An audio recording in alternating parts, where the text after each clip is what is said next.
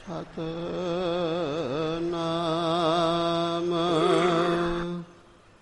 ਸ਼੍ਰੀ Waheguru Sahib JIO.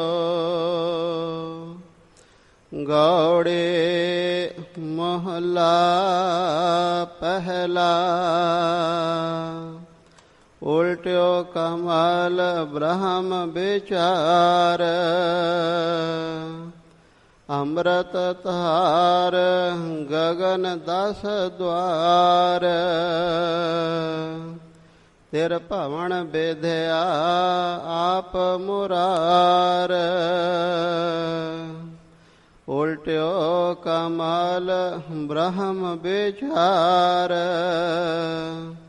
ਅੰਮ੍ਰਿਤ ਤਾਰ ਗਗਨ ਦਸ ਦਵਾਰ। ਤਿਰ ਭਵਨ ਵਿਧਿਆ, ਆਪ ਮੁਰਾਰ। ਰੇ ਮਨ ਮੇਰੇ, ਭਰਮ ਨਾ ਕੀਜੈ। ਮਨ ਮਾਨਿਆ ਅੰਮ੍ਰਿਤ ਰਸ ਪੀਜੈ। ਰਹਾਉ ਜਨਮ ਜੇਤ ਮਰਨ ਮਨ ਮਾਨਿਆ। ਆਪ ਮੁਆ ਮਨ ਮਨ ਤੇ ਜਾਣਿਆ। ਨਜ਼ਰ ਪਏ ਘਰ ਘਰ ਤੇ ਜਾਣਿਆ। ਜਤ ਸਤ ਤੀਰਥ ਮਜਨ ਨਾਮ। ਅਧਿਕ ਬਿਥਾਰ ਕਰੋ ਕਿਸ ਕਾਮ। ਨਰ ਨਾਰਾਇਣ ਹੰਤਰ ਜਾਮ। ਆਨ ਮਨੋ ਤਾ ਪਰ ਘਰ ਜਾਓ। ਕਿਸ ਜਾਚ ਨਾਹੀ ਕੋ ਥਾਓ ਨਾਨਕ ਗੁਰਮਤ ਸਹਜ ਸਮਾਓ ਆਨ ਮਨੋ ਤਾ ਪਰ ਘਰ ਜਾਓ ਕਿਸ ਜਾਚ ਨਾਹੀ ਕੋ ਥਾਓ ਨਾਨਕ ਗੁਰਮਤ ਸਹਜ ਸਮਾਓ। ਵਾਹਿਗੁਰੂ ਜੀ ਕਾ ਖਾਲਸਾ। ਵਾਹਿਗੁਰੂ ਜੀ ਕੀ ਫਤਿਹ। ਸੱਚੇ ਪਾਤਸ਼ਾਹ, ਚਬਰ ਸ਼ਤਰ ਤਖਤ ਦੇ ਮਾਲਕ ਜਗ ਦੀ ਜੋਤ ਕਿਰਪਾ ਦੇ ਸਾਗਰ ਤਨ ਸਾਹਿਬ,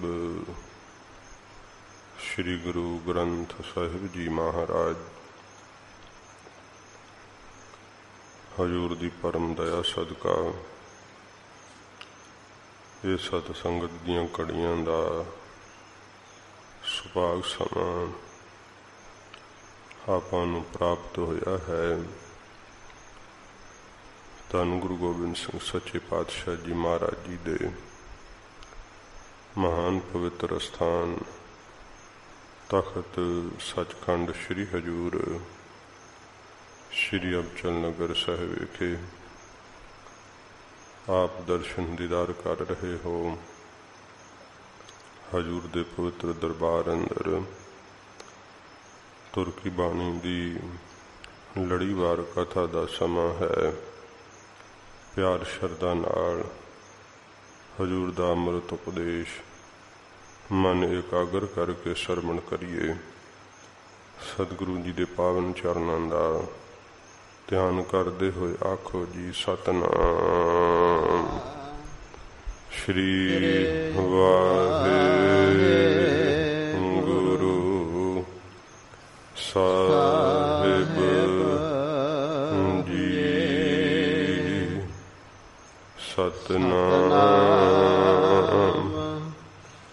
ਸ਼੍ਰੀ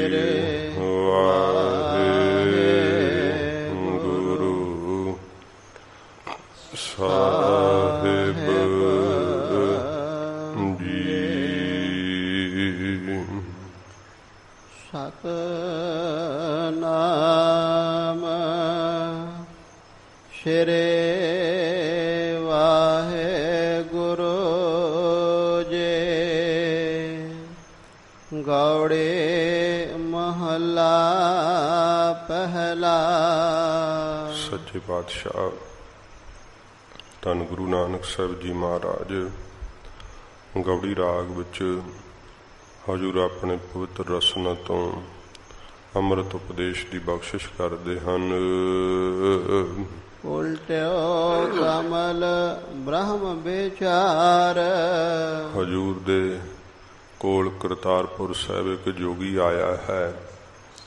ਸਤਿਗੁਰੂ ਜੀ ਦੇ ਚਰਨਾਂ ਵਿੱਚ ਇਸ ਨੇ ਬੇਨਤੀ ਕੀਤੀ ਹੈ ਮਹਾਰਾਜ, ਆਪ ਜੋ ਗੁਰਮਤ ਬਖਸ਼ਿਸ਼ ਕਰਦੇ ਹੋ, ਆਪ ਜੀ ਦੀ ਸਿੱਖਿਆ ਮੁਤਾਬਕ ਮਹਾਰਾਜ ਦਸਨ ਦੁਆਰ ਕਿਵੇਂ ਪ੍ਰਾਪਤ ਹੋ ਸਕਦਾ ਹੈ? ਤੋ ਜੋਗੀ ਨੇ ਦੱਸਿਆ ਕਿ ਮਹਾਰਾਜ ਸਾਡੇ ਮਤ ਵਿੱਚ ਤਾਂ ਅਸੀਂ ਪ੍ਰਾਣਾਯਾਮ ਕਰਦੇ ਹਾਂ, ਯੋਗ ਸਾਧਨਾ ਕਰਦੇ ਹਾਂ। ਤੇ ਇਸ ਤਰ੍ਹਾਂ ਅਸੀਂ ਦਸਮ ਦੁਆਰ ਦੀ ਪ੍ਰਾਪਤੀ ਕਰਦੇ ਹਾਂ। ਇਹ ਜਿੰਨੇ ਵੀ ਸਰੀਰ ਦੇ ਖਾਦੇ ਹੋਏ ਰਸਵ ਹੈ ਇਹ ਸਾਧ ਸੰਗਤ ਜੀ ਜਿਹੜਾ ਹੈ ਦਸਮ ਦੁਆਰ ਇਹਦੇ ਅੰਦਰ ਇਕੱਠੇ ਹੁੰਦੇ ਆ। ਤੇ ਦਸਵਾਂ ਜਿਹੜਾ ਦੁਆਰ ਹੈ, ਇਥੋਂ ਜਿਹੜਾ ਇਹ ਆਨੰਦ ਦੀ ਧਾਰਾ ਜਦੋਂ ਚੋਂਦੀ ਹੈ, ਜੀਵ ਦਾ ਜਿਹੜਾ ਰਿਦਾ ਰੂਪੀ ਕਮਲ ਵੈ, ਉਹ ਪੁੱਠਾ ਹੋਣੇ ਕਰਕੇ, ਜਠਰ ਅਗਨੀ ਤੇ ਜਾ ਕਰਕੇ, ਉਹ ਜਿਹੜਾ ਰਸ ਵੈ ਧਾਤੂ, ਉਹ ਚੋਂਦਾ ਏ ਤੇ ਸਾਰਾ ਹੀ ਜਠਰ ਅਗਨੀ ਤੇ ਸੜਦਾ ਜਾਂਦਾ ਹੈ। ਜੀਵ ਨੂੰ ਜਿਸ ਕਰਕੇ ਕਿ ਆਨੰਦ ਤੇ ਰਸ ਨਹੀਂ ਪ੍ਰਾਪਤ ਹੁੰਦਾ। ਜਦੋਂ ਜੋਗੀ ਪ੍ਰਾਣ ਤੇ ਅਪਾਨ ਵਾਯੂ ਨੂੰ ਰੋਕਦੇ ਐ ਤੇ ਫਿਰ ਭਜੰਗਮਾ ਨਾੜੀ ਨੂੰ ਇਹ ਸਿੱਧਿਆਂ ਕਰਦੇ ਐ। ਜਿਹੜੀ ਕੁੰਡਲਨੀ ਪਈ ਹੋਈ ਐ ਮੂਦਾ ਹੋਇਆ ਪਿਆ ਜਿਹੜਾ ਕਮਲ ਖੱਬੇ ਪਾਸੇ ਜੋ ਸਾਧ ਸੰਗਤ ਜੀ ਹਿਰਦੇ ਦੀ ਥਾਂ ਹੈ ਇਸ ਮਾਸ ਦੀ ਬੋਟੀ ਨੂੰ ਇਹ ਕਮਲ ਫੁੱਲ ਦੀ ਜਿਹੜੀ ਹੈ ਉਹ ਸ਼ਕਲ ਵਿੱਚ ਹੋਣ ਕਰਕੇ ਕਮਲ ਫੁੱਲ ਕਹਿੰਦੇ ਆ ਤੇ ਇਹ ਉਲਟਾ ਹੋਇਆ ਪਿਆ ਹੋਣ ਕਰਕੇ ਉਹ ਬ੍ਰਹਮਾ ਆਨੰਦ ਜਿਹੜਾ ਉਹਦਾ ਰਸ ਨਹੀਂ ਪ੍ਰਾਪਤ ਹੁੰਦਾ। ਜੋਗੀ ਫਿਰ ਜਿਵੇਂ ਟਿਊਬ ਵਿੱਚ ਹਵਾ ਛੱਡੀ ਦੀ ਹੈ ਤੇ ਉਹ ਸਿੱਧੀ ਹੋ ਜਾਂਦੀ ਹੈ। ਇਵੇਂ ਜੋਗੀ ਜਿਹੜੀ ਹੈ ਪ੍ਰਾਣ ਤੇ ਅਪਾਨ ਵਾਯੂ ਨੂੰ ਰੋਕ ਕਰਕੇ ਭਜੰਗਮਾ ਨਾੜੀ ਦੇ ਅੰਦਰ ਇਹ ਹਵਾ ਭਰਦੇ ਹੈ। ਤੇ ਫਿਰ ਜਿਹੜੀ ਬਿਰਤੀ ਹੈ, ਇਹ ਛੇ ਚੱਕਰਾਂ ਨੂੰ ਵਿੰਨ ਜਾਂਦੀ ਹੈ। ਤੇ ਹਿਰਦਾ ਰੂਪੀ ਕੌਲ ਜਿਹੜਾ ਹੈ, ਉਹ ਜੋਗੀ ਯੋਗ ਸਾਧਨਾ ਨਾਲ ਸਿੱਧਾ ਕਰਦੇ ਹੈ। ਜਦੋਂ ਸਿੱਧਾ ਕਰ ਲੈਂਦੇ ਆ ਫਿਰ ਉਹ ਰਸ ਜਿਹੜਾ ਹੈ, ਜਦੋਂ ਸਿੱਧਾ ਆ ਕਰਕੇ ਹਿਰਦੇ ਰੂਪੀ ਕਬਲ ਤੇ ਡਿੱਗਦਾ ਹੈ, ਜੋਗੀ ਨੂੰ ਬਹੁਤ ਆਨੰਦ ਤੇ ਰਸ ਪ੍ਰਾਪਤ ਹੁੰਦਾ ਹੈ। ਉਹਦੇ ਨਾਲ ਜੋਗੀ ਦੇ ਜ਼ਬਾਨ ਤੇ ਵੀ ਰਸ ਬਣ ਜਾਂਦਾ ਹੈ। ਹਿਰਦੇ ਵਿੱਚ ਵੀ ਉਸ ਨੂੰ ਰਸ ਪ੍ਰਤੀਤ ਹੁੰਦਾ ਹੈ ਤੇ ਜਿਹੜਾ ਵੈ ਕਫ ਰੁਦਰ ਵਿਗਾੜ ਆਦਿਕ ਇਹ ਰੋਗ ਵੀ ਜੋਗੀ ਇਹਨਾਂ ਰੋਗਾਂ ਨੂੰ ਨਿਵਰਤ ਕਰ ਲੈਂਦਾ ਹੈ, ਆਜੂ ਬਹੁਤ ਲੰਮੀ ਜੋਗੀ ਦੀ ਹੋ ਜਾਂਦੀ ਹੈ। ਤੋ ਇਹ ਜਿਹੜਾ ਰਸ ਚੋਂਦਾ ਹੈ, ਜੋਗੀ ਕਹਿੰਦਾ ਮਹਾਰਾਜ ਆਪ ਕਿਰਪਾ ਕਰਕੇ ਦੱਸੋ ਕਿ ਇਹ ਰਸ ਆਪ ਦੇ ਮਤ ਮੁਤਾਬਕ ਕਿਵੇਂ ਪ੍ਰਾਪਤ ਹੋ ਸਕਦਾ ਹੈ? ਤੋ ਸਤਿਗੁਰੂ ਜੀ ਜੋਗੀ ਦੀ ਬੇਨਤੀ ਸੁਣ ਕੇ ਹਜੂਰ ਫਰਮਾਉਂਦੇ ਹਨ। ਉਲਟਿਓ ਕਮਲ ਬ੍ਰਹਮ ਵਿਚਾਰ। ਸਤਿਗੁਰੂ ਜੀ ਕਹਿੰਦੇ ਆ ਜੋਗੀ ਰਾਜ ਜਦੋਂ ਬ੍ਰਹਮ ਦੀ ਵਿਚਾਰ ਕਰਦਾ ਨਾ ਕੋਈ ਪ੍ਰਾਣੀ ਕਿ ਸਤ ਕੀ ਹੈ? ਸਤ ਪਦਾਰਥ ਨੂੰ ਜਾਣਨ ਦੀ ਚੇਸ਼ਟਾ ਕਰਦਾ ਹੈ ਤੇ ਫਿਰ ਉਸ ਨੂੰ ਗੁਰੂ ਦੁਆਰੇ ਇਹ ਬ੍ਰਹਮ ਵਿਚਾਰ ਪ੍ਰਾਪਤ ਹੁੰਦੀ ਹੈ ਕਿ ਜਿੰਨਾ ਵੀ ਆਕਾਰ ਬੈ, ਸੰਸਾਰ ਬੈ, ਇਹ ਸਤ ਨਹੀਂ ਹੈ, ਬ੍ਰਹਮ ਸਤ ਹੈ। ਇਹ ਵਿਚਾਰ ਜਦੋਂ ਪ੍ਰਾਪਤ ਹੁੰਦੀ ਹੈ ਤੇ ਫਿਰ ਮਹਾਰਾਜ ਕਹਿੰਦੇ ਰਿਦਾ ਰੂਪੀ ਕੌਲ ਜਿਹੜਾ ਨਾ, ਇਹ ਉਲਟ ਕੇ ਬ੍ਰਹਮ ਦੇ ਸਨਮੁਖ ਹੋ ਜਾਂਦਾ ਹੈ। ਪਹਿਲਾਂ ਹਿਰਦੇ ਦਾ ਜਿਹੜਾ ਸੰਸਾਰ ਦੇ ਰਸਾਂ ਵਿੱਚ ਲੱਗਣਾ, ਇਹ ਇਸ ਕਮਲ ਦਾ ਮੁੱਦਾ ਹੋਣਾ ਹੈ। ਵਿਸ਼ਿਆਂ ਦਾ ਰਸ ਆਉਣਾ, ਸੰਸਾਰ ਦੇ ਸਾਰੇ ਸੁੱਖਾਂ ਦੇ ਵਿੱਚ ਮਨ ਪਰਵਿਰਤ ਰਹਿਣਾ, ਇਹ ਹਿਰਦਾ ਰੂਪੀ ਕੌਲ ਜਿਹੜਾ ਪੁੱਠਾ ਹੋਣ ਦੀ ਨਿਸ਼ਾਨੀ ਹੈ। ਜਦੋਂ ਮਹਾਰਾਜ ਨੇ ਕਿਹਾ ਕਿ ਬ੍ਰਹਮ ਦੀ ਵਿਚਾਰ ਕਰਦਾ ਹੈ ਗੁਰੂ ਜੀ ਦੁਆਰਾ ਜਾਣਦਾ ਹੈ ਕਿ ਮੈਂ ਦੇ ਨਹੀਂ ਹਾਂ, ਮੈਂ ਸੂਖਸ਼ਮ ਸਰੀਰ ਨਹੀਂ ਹਾਂ, ਮੈਂ ਕਾਰਨ ਦੇ ਵੀ ਨਹੀਂ ਹਾਂ। ਤੇ ਫਿਰ ਕੀ ਹਾਂ? ਆਪਣੇ ਜਦੋਂ ਮੂਲ ਨਾਲ ਜੁੜਦਾ ਹੈ, ਤੇ ਫਿਰ ਇਹਨੂੰ ਬ੍ਰਹਮ ਸਰੂਪ ਭਾਸਦਾ ਹੈ ਆਪਣਾ। ਵਿਆਪਕ ਆਪਣੇ ਅਸਲ ਸਰੂਪ ਨੂੰ ਜਦੋਂ ਦੇਖਦਾ ਹੈ, ਤੇ ਫਿਰ ਰਿਦਾ ਰੂਪੀ ਕੌਲ ਜਿਹੜਾ ਨਾ ਉਲਟ ਪੈਂਦਾ, ਭਾਵ ਸਿੱਧਾ ਹੋ ਜਾਂਦਾ। ਜਿਹੜੀ ਕੁੰਡਲਨੀ ਮੁੱਦੀ ਹੋਈ ਪਈ ਹੈ ਨਾ, ਉਲਟਿਓ ਕਮਲ, ਬ੍ਰਹਮ ਵਿਚਾਰ। ਬ੍ਰਹਮ ਦੀ ਵਿਚਾਰ ਕਰਨ ਨਾਲ ਕਿ ਸਦਾ ਰਹਿਣ ਵਾਲਾ ਇੱਕੋ ਇੱਕ ਪਰਮੇਸ਼ਰ ਹੈ ਬਾਕੀ ਸਭ ਕੁਝ ਨਾਸ਼ ਹੋ ਜਾਣ ਵਾਲਾ ਹੈ।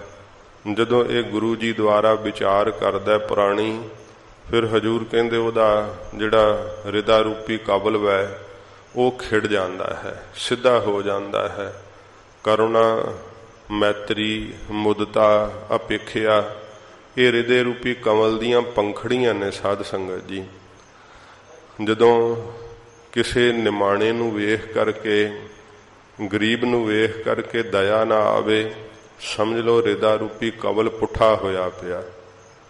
ਜਦੋਂ ਅੰਦਰ ਕਰਣਾ ਉਪਜ ਪੈਂਦੀ ਹੈ ਕਿਸੇ ਦੁਖੀ ਨੂੰ ਵੇਖ ਕੇ ਉਹਦਾ ਦੁੱਖ ਕੱਟਣ ਨੂੰ ਸਾਰਾ ਆਪਣਾ ਤਾਣ ਲਾ ਦਈਦਾ ਹੈ। ਇਹ ਦਇਆ ਰੂਪੀ ਪੰਖੜੀ ਫਿਰ ਖਿੜਦੀ ਆ ਅੰਦਰ। ਤੇ ਮੈਤਰੀ ਜਿਹੜਾ ਹੈ ਸਭ ਦੇ ਨਾਲ ਮੈਤਰੀ ਭਾਵ ਬਣਾਉਣਾ। ਮਿਤ ਪੈਜੈ, ਮਿਤ ਬਿਗਸੈ, ਜਿਸ ਮਿਤ ਕੀ ਪੈਜ ਭਾਵੈ। ਆਪਣੇ ਮਿੱਤਰ ਨੂੰ ਸੰਸਾਰ ਵਿੱਚ ਮਿਲੀ ਹੋਈ ਵਡਿਆਈ ਵੇਖ ਕਰਕੇ ਬਹੁਤ ਖੁਸ਼ ਹੋਣਾ, ਪ੍ਰਸੰਨ ਹੋਣਾ, ਵੀ ਇਹਨ ਬਹੁਤ ਸੁਖ ਪਾਇਆ ਹੈ, ਬੜੀ ਤਰੱਕੀ ਕੀਤੀ ਹੈ। ਜਿਹੜਾ ਅੰਦਰੋਂ ਈਰਖਾ ਭਾਵ ਫੁਰਨਾ ਨਾ, ਫਿਰ ਸਮਝੋ ਕਿ ਰਿਦਾ ਰੂਪੀ ਕੌਲ ਪੁੱਠਾ ਹੀ। ਹੈ ਸਿੱਧਾ ਨਹੀਂ ਹੋਇਆ, ਇਹ ਪੰਖੜੀਆਂ ਖਿੜੀਆਂ ਨਹੀਂ ਅਜੇ, ਕਿਉਂਕਿ ਉਤੋਂ ਸੰਸਾਰ ਮਿੱਤਰਤਾ ਹੀ ਦਿਖਾਉਂਦਾ ਹੈ ਤੇ ਅੰਦਰੋਂ ਵੈਰ ਭਾਵ ਰੱਖਦਾ ਹੈ ਕਿ ਇਹ ਕਿਤੇ ਤਰੱਕੀ ਨਾ ਕਰ ਜੇ, ਮੇਰੇ ਨਾਲੋਂ ਮਾਇਆ ਨਾ ਬਾਲੀ ਆ ਜੇ, ਸੰਸਾਰ ਵਿੱਚ ਰਤਬਾ ਨਾ ਵੱਡਾ ਹੋ ਜੇ, ਲੋਕ ਇਹਦਾ ਸਤਕਾਰ ਨਾ ਕਰਨ। ਇਸ ਤਰ੍ਹਾਂ ਮੈਤਰੀ ਭਾਵ ਅੰਦਰੋਂ ਨਹੀਂ ਹੁੰਦਾ, ਬਾਹਰੋਂ ਮੈਤਰੀ ਭਾਵ ਦਿਖਾਉਂਦੇ ਐ। ਅੰਦਰੋਂ ਈਰਖਾ ਫੁਰਨੇ ਕਰਕੇ ਹਿਰਦਾ ਰੂਪੀ ਕੌਲ ਜਿਹੜਾ ਉਹ ਪੁੱਠਾ ਹੋਣ ਦੀ ਨਿਸ਼ਾਨੀ ਹੈ। ਤੇ ਫਿਰ ਸਾਧ ਸੰਗਤ ਜੀ ਮੁਦਤਾ। ਮੁਦਤਾ ਭਾਵ ਹੁੰਦਾ ਆਨੰਦ, ਸੁਖ। ਕੀ ਹੈ ਕਿ ਜਦੋਂ ਸੰਸਾਰ ਦੇ ਅੰਦਰ ਕਿਸੇ ਦੀ ਵਡਿਆਈ ਵੇਖਦਾ ਹੈ, ਵੇਖ ਕਰਕੇ ਹਿਰਦਾ ਨਹੀਂ ਛੱਡਦਾ ਸਗੋਂ ਆਨੰਦ ਹੁੰਦਾ ਹੈ ਕਿ ਵਾਹਿਗੁਰੂ ਦੀ ਵਡਿਆਈ ਹੈ, ਪਰਮੇਸ਼ਰ ਨੇ ਬਖਸ਼ਿਸ਼ਾਂ ਕੀਤੀਆਂ ਨੇ। ਇਸ ਕਰਕੇ ਵਾਹਿਗੁਰੂ ਜੀ ਦੀ ਦਿੱਤੀ ਹੋਈ ਵਡਿਆਈ ਨੂੰ ਕਿਸੇ ਨੂੰ ਵੇਖ ਕਰਕੇ ਬਹੁਤ ਮੁੱਦਤ ਹੁੰਦੇ ਆ, ਬੜੇ ਆਨੰਦਿਤ ਹੁੰਦੇ ਆ। ਤੇ ਅੰਦਰ ਵੀ ਆਪਣਾ ਉਹਨਾਂ ਦਾ ਟਿਕ ਜਾਂਦਾ ਹੈ ਤੇ ਆਨੰਦ ਰੂਪੀ ਪੰਖੜੀ ਫਿਰ ਖਿੜ ਜਾਂਦੀ ਹੈ। ਅਪੇਖਿਆ ਸਾਧ ਸੰਗਤ ਜੀ, ਇੱਛਾਵਾਂ ਵੀ ਸਾਰੀਆਂ ਪੂਰੀਆਂ ਹੋ ਜਾਂਦੀਆਂ ਹਨ। ਆਪਣੇ ਅੰਦਰ ਕਿਸੇ ਪ੍ਰਕਾਰ ਦਾ ਲਪਾਇਮਾਨਗੀ ਦਾ ਭਾਵ ਜਿਹੜਾ ਉਹ ਨਹੀਂ ਰਹਿੰਦਾ, ਜਿਸ ਕਰਕੇ ਕਿ ਇਹ ਪੰਖੜੀਆਂ ਜਿਹੜੀਆਂ ਨਾ ਖਿੜ ਜਾਂਦੀਆਂ। ਸੱਚੇ ਪਾਤਸ਼ਾਹ ਜੀ ਮਹਾਰਾਜ ਕਹਿੰਦੇ ਆ ਫਿਰ ਰਿਦਾ ਰੂਪੀ ਕੌਲ ਸਿੱਧਾ ਹੋ ਜਾਂਦਾ ਹੈ। ਇਹ ਹੁੰਦਾ ਕਦੋਂ ਹੈ? ਜਦੋਂ ਜੀਵ ਬ੍ਰਹਮ ਦੀ ਵਿਚਾਰ ਕਰਦਾ ਹੈ। ਜੇ ਸੰਸਾਰ ਦੀ ਵਿਚਾਰ ਕਰੀ ਜਾਵੇ, ਕਿਵੇਂ ਜੀਵਾਂਗੇ ਕਿਵੇਂ ਨਿਰਭਾਅ ਹੋਵੇਗਾ? ਸੰਸਾਰ ਦੇ ਅੰਦਰ ਆਪ ਦੇ ਰੁਤਬੇ ਦਾ ਮਾਣ ਕਰੀ ਜਾਵੇ, ਦੇਹ ਦੇ ਵਿੱਚ ਫਸਿਆ ਰਹੇ, ਫਿਰ ਤਾਂ ਰਿਦਾ ਰੂਪੀ ਕੌਲ ਪੁੱਠਾ ਹੀ ਰਹੂਗਾ ਤੇ ਸਾਰਾ ਜਿਹੜਾ ਬ੍ਰਹਮਾ ਆਨੰਦ ਰੂਪੀ ਰਸ ਚੋਂਦਾ ਹੈ ਨਾ ਉਹ ਜਠਰ ਅਗਨੀ ਤੇ ਪੈ ਪੈ ਕੇ ਸੜੀ ਜਾਂਦਾ ਜੀਵ ਦੁਖੀ ਹੋਈ ਜਾਂਦਾ ਪਰੇਸ਼ਾਨ ਰਹਿੰਦਾ ਹੈ। ਜੋਗੀ ਇਉਂ ਰਸ ਪਾਉਂਦੇ ਐ, ਸਤਿਗੁਰੂ ਜੀ ਕਹਿੰਦੇ, ਭਾਈ, ਸਾਡੇ ਘਰ ਦੇ ਅੰਦਰ ਜਿਹੜਾ ਹੈ, ਬ੍ਰਹਮ ਦੀ ਵਿਚਾਰ ਹੈ ਨਿਰੰਕਾਰ ਦੇ ਨਾਮ ਦੀ ਵਡਿਆਈ ਹੈ। ਜਿਹੜਾ ਬ੍ਰਹਮ ਦੀ ਵਿਚਾਰ ਨਾਲ ਜੁੜ ਜਾਂਦਾ ਹੈ, ਉਹ ਨਿਹਾਲ ਹੋ ਜਾਂਦਾ ਹੈ।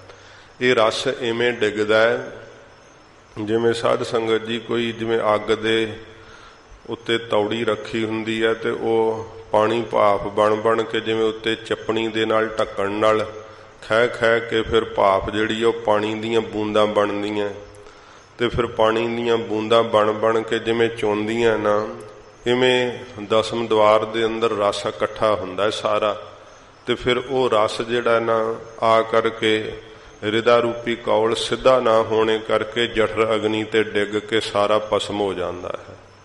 ਸਾਰਾ ਵਿਅਰਥ ਹੀ ਚਲਿਆ ਜਾਂਦਾ ਹੈ। ਜੀਵ ਦੇ ਅੰਦਰ ਹੀ ਹੈ ਸਭ ਕੁਝ। ਇਹ ਜਿਹੜੇ ਰਸ ਵੀ ਖਾਂਦਾ ਹੈ ਨਾ, ਇਹ ਵੀ ਸਾਧ ਸੰਗਤ ਜੀ ਜੀਵ ਕਰਕੇ ਭੋਗ ਕੇ ਸਮਾਪਤ ਕਰ ਲੈਂਦਾ ਹੈ ਕਿ ਇਹਨਾਂ ਦਾ ਵੀ ਰਸ ਸਦੀਵੀ ਥੋੜੋ ਰਹਿੰਦਾ ਇਹਨੂੰ। ਇਹ ਖਾਦੇ ਹੋਏ ਰਸ ਵੀ ਸਾਧ ਸੰਗਤ ਜੀ ਅਸਲ ਵਿੱਚ ਜਿੰਨੇ ਰਸ ਵੈ ਨਾ, ਉਹ ਬ੍ਰਹਮਾ ਆਨੰਦ ਦੇ ਰਸ ਚੋਂ ਹੀ ਨਿਕਲੇ ਐ ਗੁਰਮੁਖ ਜੇ ਭੋਜਨ ਖਾਂਦੇ ਐ, ਤੇ ਉਸ ਰਸ ਵਿੱਚ ਵੀ ਉਹਨਾਂ ਨੂੰ ਹਰੀ ਨਾਮ ਰਸ ਹੀ ਆਉਂਦਾ ਹੈ। ਕਿਉਂਕਿ ਜਿਹੜੇ ਪਿਆਰ ਵਾਲੇ ਗੁਰਸਿੱਖ ਉਹ ਖਾਂਦਿਆਂ ਵੀ ਜਪਜੀ ਸਾਹਿਬ ਦਾ ਪਾਠ ਕਰ ਲੈਂਦੇ ਆ। ਜੇ ਉਹਨਾਂ ਦੇ ਸੁੱਤੇ ਪਿਆ ਅਭਿਆਸ ਵੇਖੀਏ, ਤੇ ਤਾਂ ਵੀ ਬਾਣੀ ਦਾ ਪਾਠ ਕਰ ਲੈਂਦੇ ਆ। ਉਹਨਾਂ ਦੇ ਅੰਦਰੋਂ ਆਪਣੇ ਬ੍ਰਹਮ ਦਾ ਜਿਹੜਾ ਸਰੂਪ ਹੈ, ਉਹ ਵਿਸਰਦਾ ਨਹੀਂ ਹੈ। ਐਸੀ ਵਿਚਾਰ ਉਹਨਾਂ ਦੇ ਅੰਦਰ ਸ਼ੁਭ ਪ੍ਰਗਟ ਹੁੰਦੀ ਹੈ। ਜੇ ਮਨੁੱਖ ਵਿਚਾਰ ਹੀ ਨਹੀਂ ਕਰਦਾ, ਤੇ ਫਿਰ ਸਾਧ ਸੰਗਤ ਜੀ ਉਹ ਪਸ਼ੂ ਹੈ, ਮਾਫ ਕਰਨਾ। ਜਿਹਨੂੰ ਵਿਚਾਰ ਹੀ ਨਹੀਂ ਫੁਰਦੀ ਜ਼ਿੰਦਗੀ ਦੇ ਅੰਦਰ ਕਿ ਮੈਂ ਕੌਣ ਹਾਂ, ਮੈਂ ਕੀ ਹਾਂ, ਮੇਰੇ ਅੰਦਰ ਵਰਤਾਰਾ ਕੀ ਵਰਤ ਰਿਹਾ ਹੈ, ਮੈਨੂੰ ਜੀਵਨ ਕਿਸ ਤਰ੍ਹਾਂ ਜਿਉਣਾ ਚਾਹੀਦਾ ਹੈ, ਸਾਨੂੰ ਸਤਿਗੁਰੂ ਜੀ ਜੀਵਨ ਦੀ ਜੁਗਤ ਕੀ ਦੱਸਦੇ ਹੈ? ਇਹ ਵਿਚਾਰ ਰੂਪੀ ਤੱਕੜੀ ਦੇ ਅੰਦਰ ਜਦੋਂ ਜੀਵ ਰੱਖਦਾ ਹੈ ਨਾ, ਵਿਚਾਰ ਤਾਂ ਤਰਾਜੂ ਹੈ ਫਿਰ। ਤੋਲਦੀ ਹੈ। ਜੇ ਸੰਸਾਰ ਦੇ ਰਸਾਂ ਨੂੰ ਰੱਖ ਕੇ ਵੇਖੋ ਤੇ ਇੱਕ ਪਾਸੇ ਬ੍ਰਹਮਾ ਆਨੰਦ ਦੇ ਰਸ ਨੂੰ ਰੱਖ ਕੇ ਵੇਖੋ ਤੇ ਮਹਾਰਾਜ ਕਹਿੰਦੇ ਨੇ ਕਿ ਫਿਰ ਪਤਾ ਲੱਗ ਜਾਂਦਾ ਵਿਚਾਰ ਰੂਪੀ ਤਰਾਜੂ 'ਚ ਧਰਿਆ ਕਿ ਵਾਹਿਗੁਰੂ ਦੇ ਨਾਮ ਦਾ ਆਨੰਦ ਸਭ ਤੋਂ ਵੱਡਾ ਹੈ। ਇਹ ਵਿਚਾਰ ਨਾਲ ਪਹਿਲਾਂ ਪਤਾ ਲੱਗਦਾ ਭਾਵੇਂ ਪ੍ਰਾਪਤ ਨਹੀਂ ਪਹਿਲਾਂ ਹੁੰਦਾ। ਪਰ ਵਿਚਾਰ ਕੀਤਿਆਂ ਪਤਾ ਲੱਗ ਜਾਂਦਾ ਹੈ ਕਿ ਬ੍ਰਹਮ ਸਦਾ ਰਹਿਣ ਵਾਲਾ ਹੈ, ਬਾਕੀ ਸਭ ਕੁਝ ਨਾਸ਼ ਹੋ ਜਾਣ ਵਾਲਾ ਹੈ ਤੇ ਜਿਹੜੇ ਰਸ, ਜਿਹੜੀਆਂ ਦੇਹਾਂ ਹੋ ਹੀ ਜਾਣ ਵਾਲੀਆਂ ਨਾਸ਼ ਨੇ ਤੇ ਫਿਰ ਸਾਧ ਸੰਗਤ ਜੀ ਉਹਨਾਂ ਦੇ ਆਨੰਦ ਸਦੀਵੀ ਕਿਵੇਂ ਰਹਿ ਸਕਦੇ ਆ ਵਿਚਾਰ ਰੂਪੀ ਤਰਾਜੂ ਚ ਜਦੋਂ ਤੋਲੀਏ ਫਿਰ ਬ੍ਰਹਮ ਨੂੰ ਗ੍ਰਹਿਣ ਕਰ ਲੈਂਦੇ ਜਗਿਆਸੂ, ਕਿ ਹਉ ਤੋਂ ਏਕ ਰਮਈਆ ਲੈ ਹਉ। ਮਹਾਰਾਜ, ਮੈਨੂੰ ਤਾਂ ਇੱਕ ਆਪ ਦਾ ਨਾਮ ਹੀ ਚਾਹੀਦਾ ਮੈਨੂੰ ਤਾਂ ਬ੍ਰਹਮ ਸਰੂਪ ਤੁਸੀਂ ਚਾਹੀਦੇ ਆ ਫਿਰ ਜਦੋਂ ਬ੍ਰਹਮ ਦੀ ਵਿਚਾਰ ਕਰਕੇ ਰਿਦਾ ਜਿਹੜਾ ਹੈ ਪਰਮੇਸ਼ਰ ਦੇ ਸਨਮੁਖ ਹੋ ਜਾਂਦਾ ਨਾ, ਸੰਸਾਰ ਦੇ ਰਸ ਛੁੱਟਦੇ ਆ, ਉਹਦੇ ਅੰਦਰ ਇਹੋ ਜਿਹਾ ਫਿਰ ਸਾਧ ਸੰਗਤ ਜੀ ਰਸ ਚੋਂਦਾ ਸਿੱਧਾ ਰਿਦੇ ਰੂਪੀ ਕੌਲ ਤੇ ਆ ਕੇ ਡਿੱਗਦਾ ਹੈ। ਇਹ ਰਸ ਜਿਹੜੇ ਆਪਾਂ ਭੋਗਦੇ ਆ ਸਰੀਰ ਕਰਕੇ ਜਿਨ੍ਹਾਂ ਨੇ ਰਸ ਨੂੰ ਮਾਣਿਆ, ਉਹ ਪ੍ਰਮਾਣ ਦੇ ਕੇ ਕੇਵਲ ਦੱਸਦੇ ਆ ਕਹਿੰਦੇ ਆ ਕਿ ਇਹ ਦੇਹੀ ਦੇ ਰਸ ਜਿਹੜੇ ਇਹ ਕਟੋਰੇ ਦੇ ਜਲ ਦੀ ਨਿਆਈ ਹਨ ਤੇ ਜਿਹੜਾ ਬ੍ਰਹਮਾ ਆਨੰਦ ਦਾ ਰਸ ਆਉਂਦਾ ਉਹ ਸਾਗਰ ਦੀ ਨਿਆਈ ਹੈ। ਕਿੱਥੇ ਕਟੋਰਾ ਤੇ ਕਿੱਥੇ ਸਾਗਰ?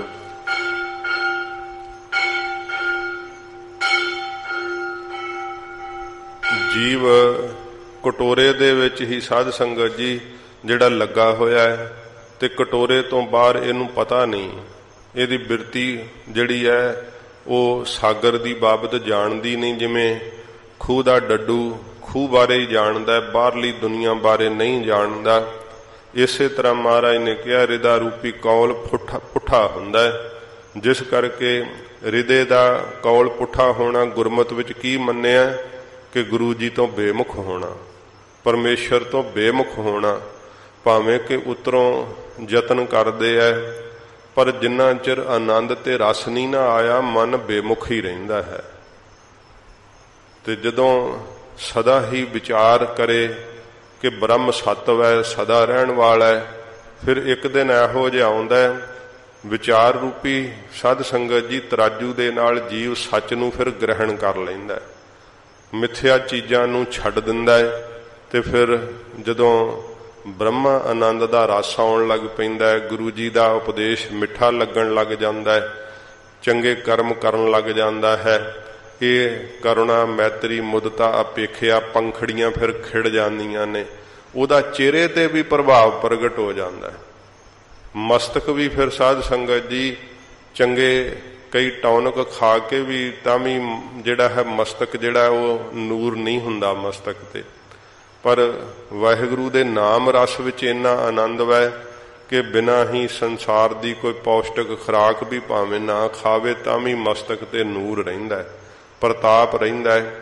ਇਹ ਨਾਮ ਦੇ ਆਨੰਦ ਦੀ ਸਾਧ ਸੰਗਤ ਜੀ ਕਰਾਮਾਤ ਹੈ। ਸਤਿਗੁਰੂ ਜੀ ਕਹਿੰਦੇ ਨੇ ਕਿ ਸਾਡੇ ਘਰ ਵਿੱਚ ਜੋਗੀ ਬ੍ਰਹਮ ਦੀ ਵਿਚਾਰ ਦੇ ਨਾਲ ਹੀ ਜਿਹੜਾ ਨਾ ਉਲਟਾ ਕਮਲ, ਉਹ ਸਿੱਧਾ ਹੋ ਜਾਂਦਾ ਹੈ।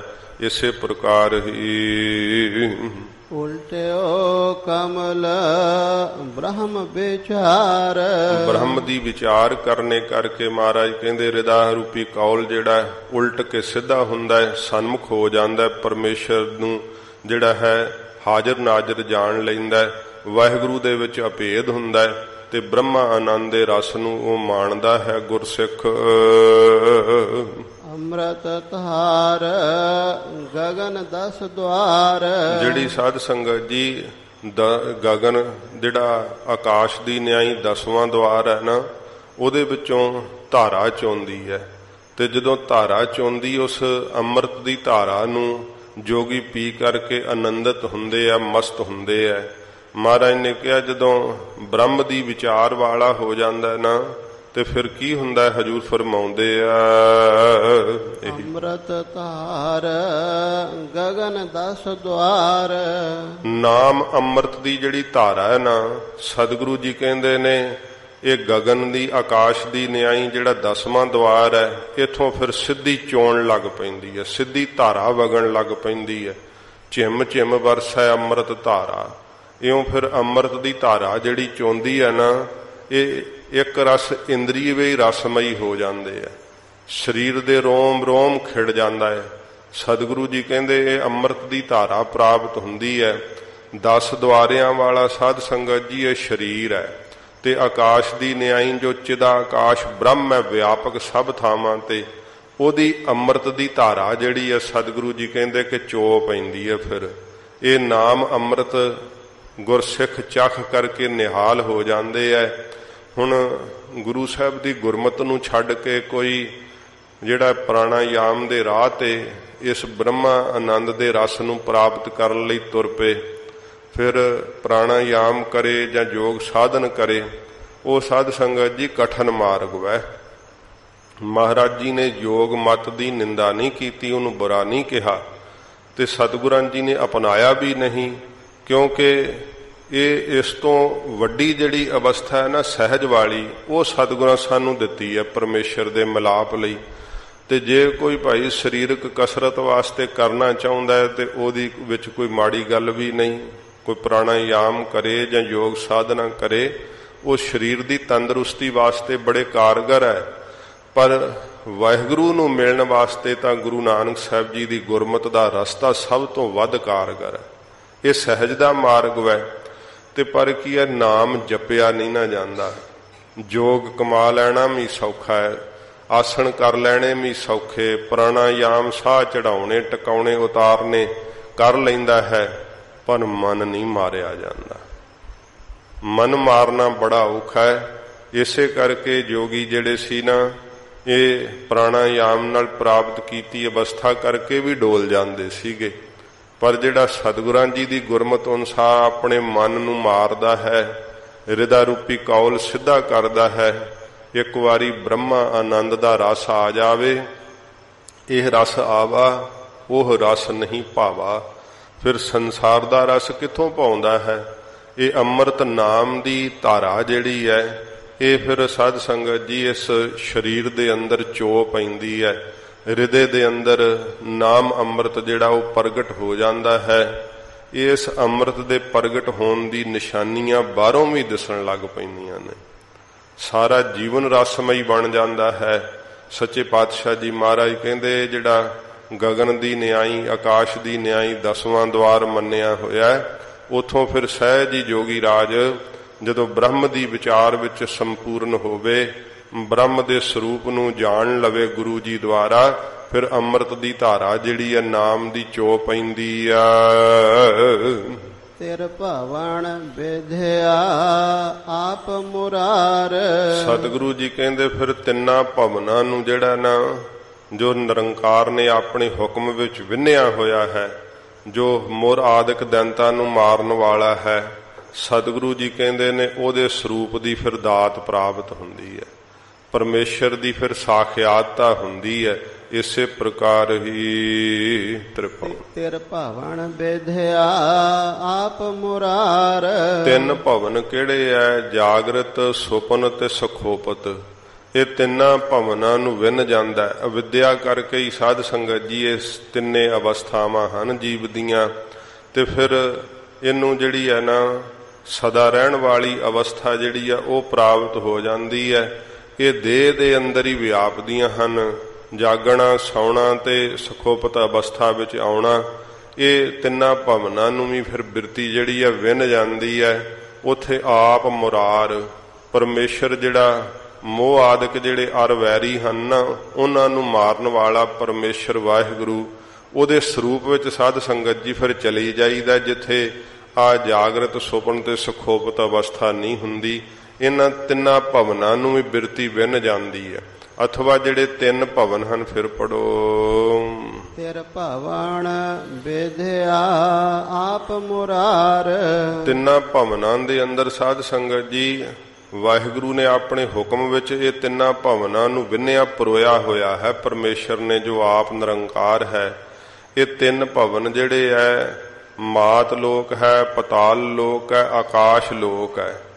ਤੇ ਜਿਹੜੇ ਬ੍ਰਹਮ ਵਿੱਚ ਚਲੇ ਜਾਂਦੇ ਆ ਨਾ, ਉਹਨਾਂ ਲਈ ਇਹ ਵੀ ਵਿੰਨੇ ਜਾਂਦੇ ਆ, ਭਾਵ ਲੈ ਹੋ ਜਾਂਦੇ ਆ। ਆ ਜਿਹੜਾ ਸਾਨੂੰ ਸੰਸਾਰ ਦਿਸਦਾ ਹੈ ਨਾ, ਇਹ ਦਿਸਦਾ ਹੋਇਆ ਸੰਸਾਰ ਲੈ ਹੋ ਜਾਂਦਾ, ਸਮਾਪਤ ਹੋ ਜਾਂਦਾ ਜਦੋਂ ਵਾਹਿਗੁਰੂ ਦੇ ਸਰੂਪ ਵਿੱਚ ਚਲੇ ਜਾਈਦਾ ਹੈ। ਹਜੂਰ ਨੇ ਕਿਹਾ, ਬ੍ਰਹਮ ਦੀ ਵਿਚਾਰ ਕਰਨ ਦਾ ਇਹ ਫਲ ਪ੍ਰਾਪਤ ਹੁੰਦਾ ਸਾਡੇ ਘਰ ਦੇ ਅੰਦਰ। ਪਹਿਲਾਂ ਤਾਂ ਉਸ ਆਨੰਦ ਦੀ ਧਾਰਾ ਨੂੰ ਬਹੁਤ ਜ਼ਿਆਦਾ ਗੁਰਸਿੱਖ ਆਨੰਦ ਦੇ ਸਹਿਤ ਮਾਣਦੇ ਐ, ਸੁਖ ਪਾਉਂਦੇ ਐ। ਫਿਰ ਇਹੋ ਜੀ ਅਵਸਥਾ ਆ ਜਾਂਦੀ ਹੈ ਕਿ ਦਿਸ ਦਾ ਸਾਰਾ ਸੰਸਾਰ, ਪਤਾਲ ਲੋਕ, ਆਕਾਸ਼ ਲੋਕ, ਮਾਤ ਲੋਕ ਸਭ ਵਿੰਨਿਆ ਜਾਂਦਾ ਹੈ। ਸਭ ਲੈ ਹੋ ਜਾਂਦਾ ਹੈ ਤੇ ਪਰਮੇਸ਼ਰ ਦੇ ਸਰੂਪ ਵਿੱਚ ਉਹ ਅਭੇਦ ਹੋ ਜਾਂਦੇ ਆ। ਰੇ ਮਨ ਮੇਰੇ ਭਰਮ ਨਾ ਕੀਜੈ। ਹਜੂਰ ਕਹਿੰਦੇ, ਹੈ ਮੇਰੇ ਮਨਾ, ਤੂੰ ਭਰਮ ਨਾ ਕਰ ਇਸ ਗੱਲ ਦੇ ਅੰਦਰ, ਕਿ ਇਹ ਸਾਰਾ ਕੁਝ ਲੈ ਕਿਵੇਂ ਹੋ ਜਾਂਦਾ ਹੈ? ਆਪ ਜੋ ਮੁਰਾਰੀ ਹੈ ਪਰਮੇਸ਼ਰ, ਉਹਦਾ ਸਰੂਪ ਕਿਵੇਂ ਹੋ ਜਾਈਦਾ ਹੈ? ਹਜੂਰ ਕਹਿੰਦੇ, ਇਹ ਗੁਰੂ ਸਾਹਿਬ ਦੇ ਉਪਦੇਸ਼ ਦੀ ਕਰਾਮਾਤ ਹੈ। ਇਹ ਨਾਮ ਦੀ ਪ੍ਰਤੱਖ ਸ਼ਕਤੀ ਹੈ। ਮੇਰੇ ਮਨਾ ਇਹ ਸਾਨੂੰ ਸਤਿਗੁਰੂ ਜੀ ਸੰਬੋਧਨ ਹੋ ਕਰਕੇ ਕਹਿੰਦੇ ਐ ਆਪਾਂ ਆਪਣੇ ਮਨ ਵਿੱਚ ਮਹਾਰਾਜ ਦੇ ਉੱਪਰ ਸ਼ਰਧਾ ਕਰਦੇ ਹੋਏ ਮਨ ਨੂੰ ਪ੍ਰਬੋਧੀਏ ਕਿ ਮਨਾ ਤੂੰ ਕੋਈ ਭਰਮ ਨਾ ਕਰ ਮਨ ਦੇ ਅੰਦਰ। ਜੇ ਭਰਮ ਪਾ ਲੇਗਾ ਕਿਵੇਂ ਹੋ ਨਹੀਂ ਸਕਦਾ? ਫਿਰ ਤੂੰ ਬ੍ਰਹਮ ਦੀ ਵਿਚਾਰ ਕਿਵੇਂ ਕਰੇਗਾ? ਭਰਮ ਅੰਦਰ ਹੋਣੇ ਕਰਕੇ ਹੀ ਬ੍ਰਹਮ ਦੇ ਉੱਪਰ ਮਨ ਨਹੀਂ ਮੰਨਦਾ। ਵਾਹਿਗੁਰੂ ਜੀ ਦੀ ਹੋਂਦ ਦੇ ਉੱਤੇ ਮਨ ਟਿਕਦਾ ਨਹੀਂ, ਕਿਉਂਕਿ ਭਰਮ ਪਏ ਹੋਏ ਐ ਸਤਿਗੁਰੂ ਜੀ ਕਹਿੰਦੇ ਨੇ, ਭੁੱਲ ਕੇ ਵੀ ਭਰਮ ਨਹੀਂ ਕਰਨਾ ਚਾਹੀਦਾ ਗੁਰੂ ਸਾਹਿਬ ਦੇ ਉਪਦੇਸ਼ ਦੇ ਉੱਪਰ। ਜੇ ਆਪ ਨੂੰ ਨਹੀਂ ਪਤਾ, ਤੇ ਇਹਦਾ ਅਰਥ ਇਹ ਨਹੀਂ ਹੈ ਕਿ ਗੁਰੂ ਸਾਹਿਬ ਦੇ ਉਪਦੇਸ਼ ਦੀ ਉਹ ਕਲਾ ਵਰਤ ਨਹੀਂ ਸਕਦੀ ਹੈ।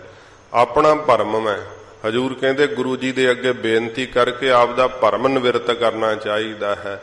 ਆਪਣੇ ਮਨ ਨੂੰ ਪ੍ਰਬੋਧਣਾ ਚਾਹੀਦਾ ਹੈ। ਮੇਰੇ ਮਨਾ ਤੂੰ ਗੁਰੂ ਸਾਹਿਬ ਦੇ ਉਪਦੇਸ਼ ਦੇ ਉੱਪਰ ਭਰਮ ਨਾ ਕਰ, ਸਤਿਗੁਰੂ ਜੀ ਦੀ ਸਿੱਖਿਆ ਉੱਪਰ ਨਿਸ਼ਚਾ ਕਰ। ਇਹ ਮਨ ਦੇ ਅੰਦਰ ਖਿਆਲ ਨਾ ਕਰ ਕਰਕੇ ਬ੍ਰਹਮ ਦੀ ਪ੍ਰਾਪਤੀ ਨਹੀਂ ਹੁੰਦੀ। ਬ੍ਰਹਮ ਦੀ ਪ੍ਰਾਪਤੀ ਅਵਸ਼ ਹੋ ਜਾਂਦੀ ਹੈ। ਜੇ ਗੁਰੂ ਸਾਹਿਬ ਦੇ ਚਰਨਾਂ ਨਾਲ ਜੁੜ ਕਰਕੇ ਆਪਣੇ ਆਪੇ ਦੀ ਵਿਚਾਰ ਕਰੇ ਕਿ ਤੂੰ ਕੌਣ ਹੈ, ਤੂੰ ਕਿੱਥੋਂ ਆਇਆ ਹੈ, ਕਿੱਧਰ ਜਾਵੇਂਗਾ, ਆਪਣੇ ਬਾਰੇ ਤੂੰ ਕਦੀ ਸੋਚਿਆ ਹੀ ਨਹੀਂ।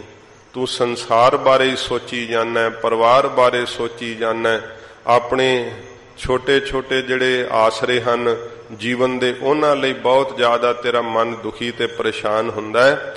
ਤੂੰ ਮਨ ਦੇ ਅੰਦਰ ਭਰਮ ਹੀ ਪਾਏ ਹੋਏ ਹੈ। ਇਸ ਕਰਕੇ ਭਰਮ ਨੂੰ ਛੱਡ ਦੇ, ਭਰਮ ਨਾ ਕਰਨਾ ਕਰ। ਮਨ ਮਾਨਿਆ ਅੰਮ੍ਰਿਤ ਰਸ ਪੀਜੈ ਜਦੋਂ ਤੇਰਾ ਮਨ ਮੰਨ ਜਾਏਗਾ ਨਾ, ਫਿਰ ਗੁਰੂ ਜੀ ਦੇ ਉਪਦੇਸ਼ ਵਿੱਚ ਬ੍ਰਹਮ ਸਰੂਪ ਦੇ ਅੰਦਰ ਫਿਰ ਇਸ ਨਾਮ ਅੰਮ੍ਰਿਤ ਰਸ ਨੂੰ ਪੀਜਾ ਪੀਣਾ ਕਰੇਗਾ ਤੂੰ ਵੀ। ਜਿੰਨਾ ਚਿਰ ਤੇਰਾ ਮਨ ਹੀ ਨਹੀਂ ਠਹਿਰਦਾ, ਤੂੰ ਕਿਵੇਂ ਪੀ ਲੇਗਾ ਅੰਮ੍ਰਿਤ ਰਸ? ਇਸ ਕਰਕੇ ਤੇਰਾ ਮਨ ਜਦੋਂ ਮੰਨ ਜਾਏਗਾ ਨਾ, ਗੁਰੂ ਜੀ ਦੇ ਉਪਦੇਸ਼ ਦੇ ਅੰਦਰ ਕਿ ਸਤਿਗੁਰੂ ਜੀ ਸਤ ਕਹਿੰਦੇ ਐ, ਫਿਰ ਤੂੰ ਸਰਵਣ ਕਰਕੇ ਮੰਨਣ ਕਰ ਲੇਗਾ। ਮੰਨਣ ਕਰਕੇ ਫਿਰ ਨਿਧਿਆਸਣ ਕਮਾਈ ਕਰ ਲੇਗਾ ਤੇ ਫਿਰ ਤੈਨੂੰ ਨਾਮ ਅੰਮ੍ਰਿਤ ਦਾ ਰਸ ਆਉਣ ਲੱਗ ਪਵੇਗਾ। ਜਿਹੜੀ ਪਹਿਲੋਂ ਸਾਧ ਸੰਗਤ ਜੀ ਅਗਿਆਨ ਕਾਲ ਵਿੱਚ ਕਹਿੰਦਾ, ਨਹੀਂ ਨਹੀਂ, ਹੋ ਨਹੀਂ ਸਕਦਾ। ਜਦੋਂ ਗਿਆਨ ਕਾਲ ਹੁੰਦਾ ਹੈ, ਫਿਰ ਬੜਾ ਆਸ਼ਚਰਜ ਹੁੰਦਾ ਹੈ ਕਿ ਤਾਂ ਸਭ ਕੁਝ ਹੋ ਸਕਦਾ ਸੀ। ਮੈਂ ਭਰਮ ਕਰਕੇ ਹੀ ਮੰਨੀ ਬੈਠਾ ਸਾਂ ਕਿ ਐਵੇਂ ਹੋ ਨਹੀਂ ਸਕਦਾ ਹੈ। ਇਉਂ ਗਿਆਨ ਕਾਲ ਵਿੱਚ ਜਿਹੜੀ ਸੋਝੀ ਹੁੰਦੀ ਹੈ ਨਾ ਉਹਦਾ ਅਨੁਭਵ ਗਿਆਨ ਕਾਲ 'ਚ ਹੀ ਪਾ ਸਕਦਾ ਅਗਿਆਨ ਕਾਲ ਵਿੱਚ ਬਿਲਕੁਲ ਸੋਝੀ ਨਹੀਂ ਹੁੰਦੀ ਕੁਝ ਨਹੀਂ ਪਤਾ ਹੁੰਦਾ। ਹਾਂ, ਇੱਕ ਨਿਸ਼ਚਾ ਕਰਕੇ ਤੁਰ ਪਵੇ ਬਸ। ਕਿ ਮਹਾਰਾਜ, ਮੈਨੂੰ ਪਤਾ ਨਹੀਂ ਹੈ। ਆਪ ਮੈਨੂੰ ਸੋਝੀ ਦਿਓ। ਮਨ ਦੇ ਭਰਮ ਦੂਰ ਕਰੇ ਸਤਿਗੁਰੂ ਜੀ ਦਾ ਉਪਦੇਸ਼ ਕਮਾ ਕਰਕੇ। ਤੇ ਜਦੋਂ ਫਿਰ ਮਨ ਦੇ ਭਰਮ ਦੂਰ ਹੁੰਦੇ ਐ ਅੰਮ੍ਰਿਤ ਰਸ ਜੋ ਹੈ ਫਿਰ ਪੜੋ ਪੰਕਤੀ। ਮਨ ਮਾਨਿਆ ਅੰਮ੍ਰਿਤ ਰਸ ਪੀਜੈ। ਮਨ ਮੰਨ ਜਾਂਦਾ ਫਿਰ ਗੁਰੂ ਜੀ ਦੇ ਉਪਦੇਸ਼ ਵਿੱਚ। ਜਦੋਂ ਮਨ ਮੰਨ ਗਿਆ ਫਿਰ ਮਹਾਰਾਜ ਕਹਿੰਦੇ ਅੰਮ੍ਰਿਤ ਦਾ ਰਸ ਗੁਰਸਿੱਖ ਭਾਈ ਪੀਜੈ ਪੀਣਾ ਕਰਦੇ ਆ। ਰਹਾਉ ਵਿਸ਼ਰਾਮ ਦੇ ਕੇ ਮਹਾਰਾਜ ਫਰਮਾਉਂਦੇ ਹਨ। ਜਨਮ ਜੀਤ ਮਰਨ ਮਨ ਮਾਨਿਆ ਹਜੂਰ ਕਹਿੰਦੇ ਜਿਨ੍ਹਾਂ ਦਾ ਭਾਈ ਜੀਵਤ ਭਾਵ ਦੇ ਮਰਨ ਵਿੱਚ ਮਨ ਮੰਨ ਗਿਆ ਨਾ ਤੇ ਉਹਨਾਂ ਨੂੰ ਸਤਿਗੁਰੂ ਜੀ ਫਰਮਾਉਂਦੇ ਹਨ। ਇਹ- ਜਨਮ ਜੀਤ ਮਰਨ ਮਨ ਮਾਨਿਆ ਉਹਨਾਂ ਨੇ ਜਨਮ ਨੂੰ ਸਾਧ ਸੰਗਤ ਜੀ ਜਿੱਤ ਲਿਆ ਹੈ। ਇਹ ਜਿਹੜਾ ਮਨੁੱਖਾ ਜਨਮ ਹੈ ਨਾ ਉਹਨਾਂ ਨੇ ਜਿੱਤ ਲਈ ਹੈ ਬਾਜੀ। ਕਿਹਨਾਂ ਨੇ? ਮਰਨ ਮਨ ਮੰਨਿਆ। ਜਿਨ੍ਹਾਂ ਦਾ ਜੀਵਤ ਭਾਵ ਦੇ ਮਰਨ ਵਿੱਚ ਮਨ ਮੰਨ ਗਿਆ ਹੈ। ਜੀਵਤ ਭਾਵ ਤੋਂ ਮਰਨਾ, ਸ਼ਬਦ ਦੀ ਕਮਾਈ ਕਰਕੇ ਸੰਸਾਰ ਦੇ ਸੁੱਖਾਂ ਵੱਲੋਂ ਮਨ ਮਰ ਜਾਣਾ। ਸੰਸਾਰ ਦੇ ਸਾਰੇ ਰਸਵਰ ਜਿਹੜੇ ਆ, ਉਹ ਹਟ ਜਾਣੇ। ਇਹ ਹੈ ਸਾਧ ਸੰਗਤ ਜੀ, ਜੀਵਤ ਭਾਵ ਤੋਂ ਮਰਨਾ। ਤੇ ਜਿਨ੍ਹਾਂ ਦਾ ਮਨ ਹੀ ਨਹੀਂ ਮੰਨਿਆ, ਉਹਨਾਂ ਨੇ ਜੀਵਨ ਨੂੰ, ਦੀ ਬਾਜੀ ਨੂੰ ਕੀ ਜਿੱਤਣਾ ਹੈ? ਉਹ ਹਾਰ ਜਾਂਦੇ ਆ, ਇੱਥੇ ਕੌਡੀਆਂ ਦੇ ਬਦਲੇ ਸਾਧ ਸੰਗਤ ਜੀ ਗਵਾ ਜਾਂਦੇ ਆ ਸਾਰਾ ਕੁਝ ਕਿਉਂਕਿ ਜਿੰਨੇ ਰਸ ਹੁਣ ਤੱਕ ਖਾ ਲਏ ਆ, ਉਹ ਕਿੱਧਰ ਗਏ ਆ? ਤੇ ਮਨਾ, ਜਿਹੜੇ ਤੂੰ ਰਹਿੰਦੇ ਜ਼ਿੰਦਗੀ ਤੱਕ ਵੀ ਖਾਣੇ, ਉਹ ਵੀ ਸਾਰੇ ਸਵਾਹ ਹੀ ਕਰ ਦੇਣੇ ਹੈ।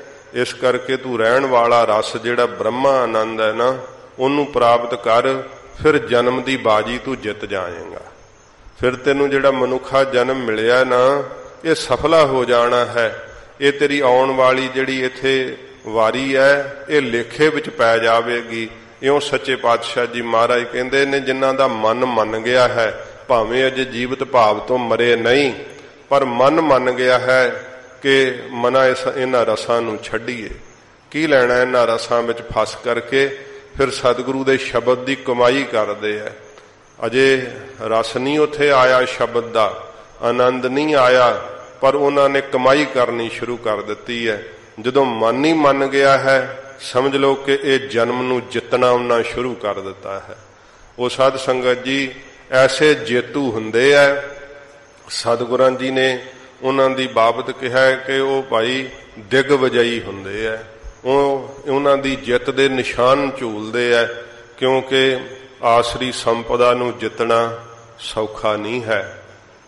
ਜਿਉਂਦਿਆਂ ਜੀ ਮਰਨਾ ਸੌਖਾ ਨਹੀਂ ਹੈ।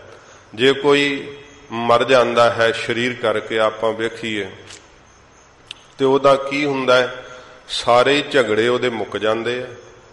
ਪਰਿਵਾਰ ਦੇ ਸੰਬੰਧ ਟੁੱਟ ਜਾਂਦੇ ਆ। ਕਿ ਸੰਸਾਰ ਵਿੱਚ ਫਿਰ ਵੀ ਨਾਤਾ ਰਹਿੰਦਾ ਹੈ। ਨਹੀਂ ਨਾਤਾ ਰਹਿੰਦਾ ਕੋਈ, ਮਰਨ ਤੋਂ ਬਾਅਦ ਸਾਰੇ ਹੀ ਸੰਬੰਧ ਟੁੱਟ ਜਾਂਦੇ ਆ।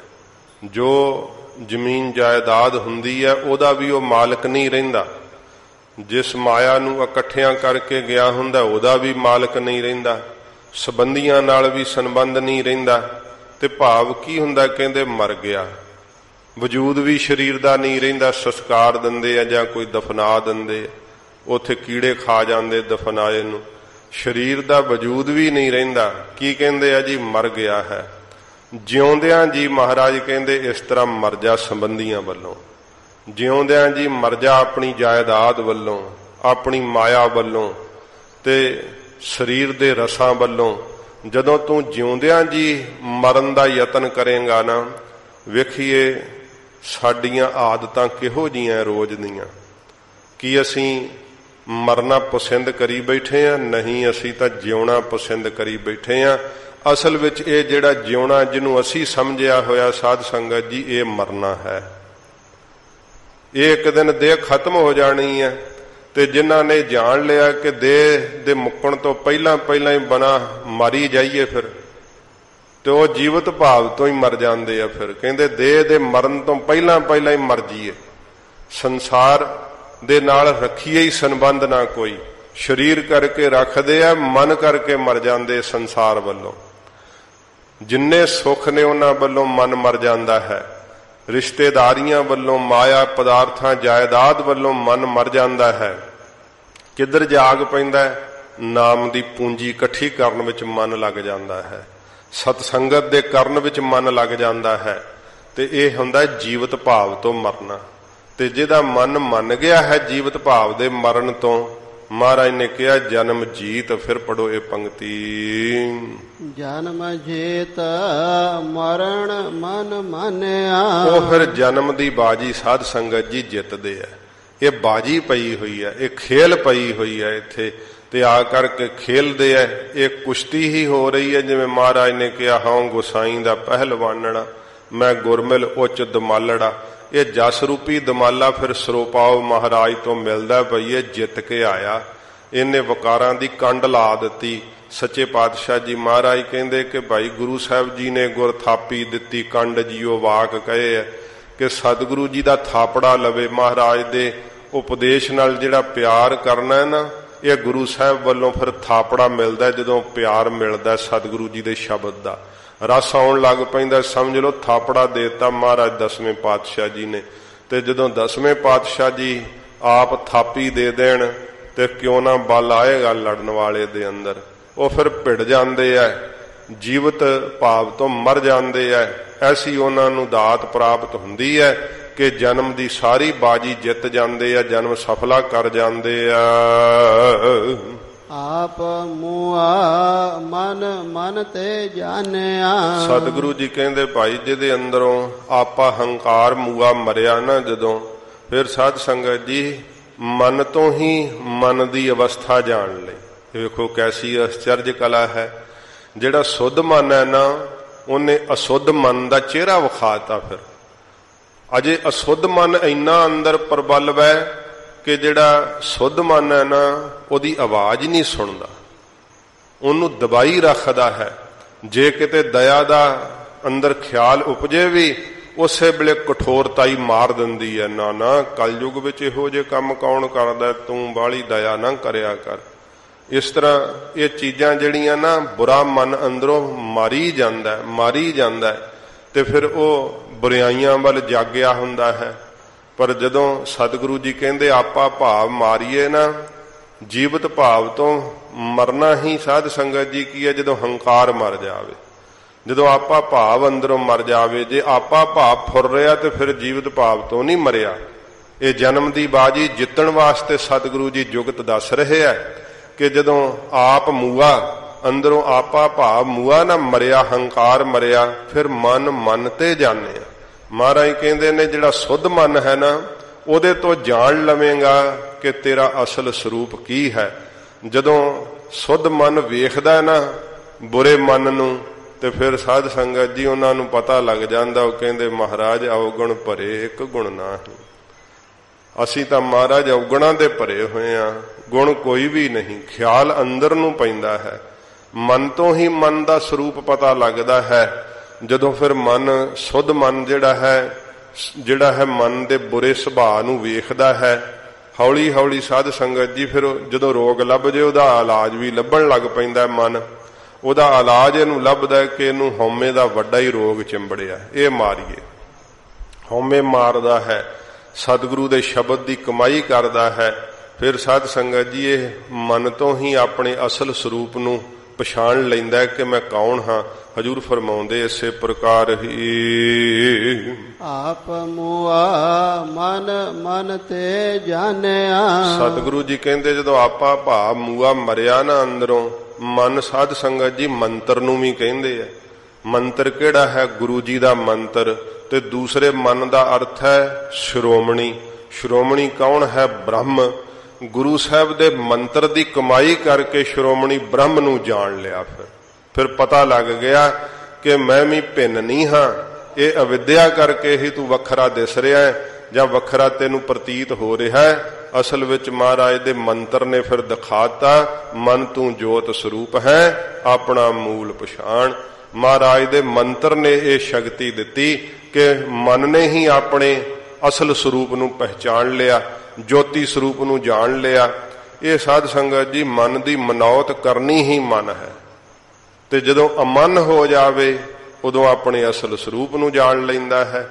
ਜਿੰਨਾ ਚਿਰ ਇਹ ਮੈਂ ਰਸਾਂ ਨੂੰ ਭੋਗਦਾ ਹਾਂ, ਇਹ ਸੁਖ ਮੈਂ ਮਾਣ ਰਿਹਾ ਹਾਂ, ਤੇ ਇਹਨਾਂ ਅਗਿਆਨਤਾ ਦਾ ਪਰਦਾ ਹੁੰਦਾ ਹੈ, ਮਨ ਆਪਣਾ ਸਾਧ ਸੰਗਤ ਜੀ ਇੱਕ ਕਿਲਾ ਬਣਾ ਕਰਕੇ ਰੱਖਦਾ ਹੈ।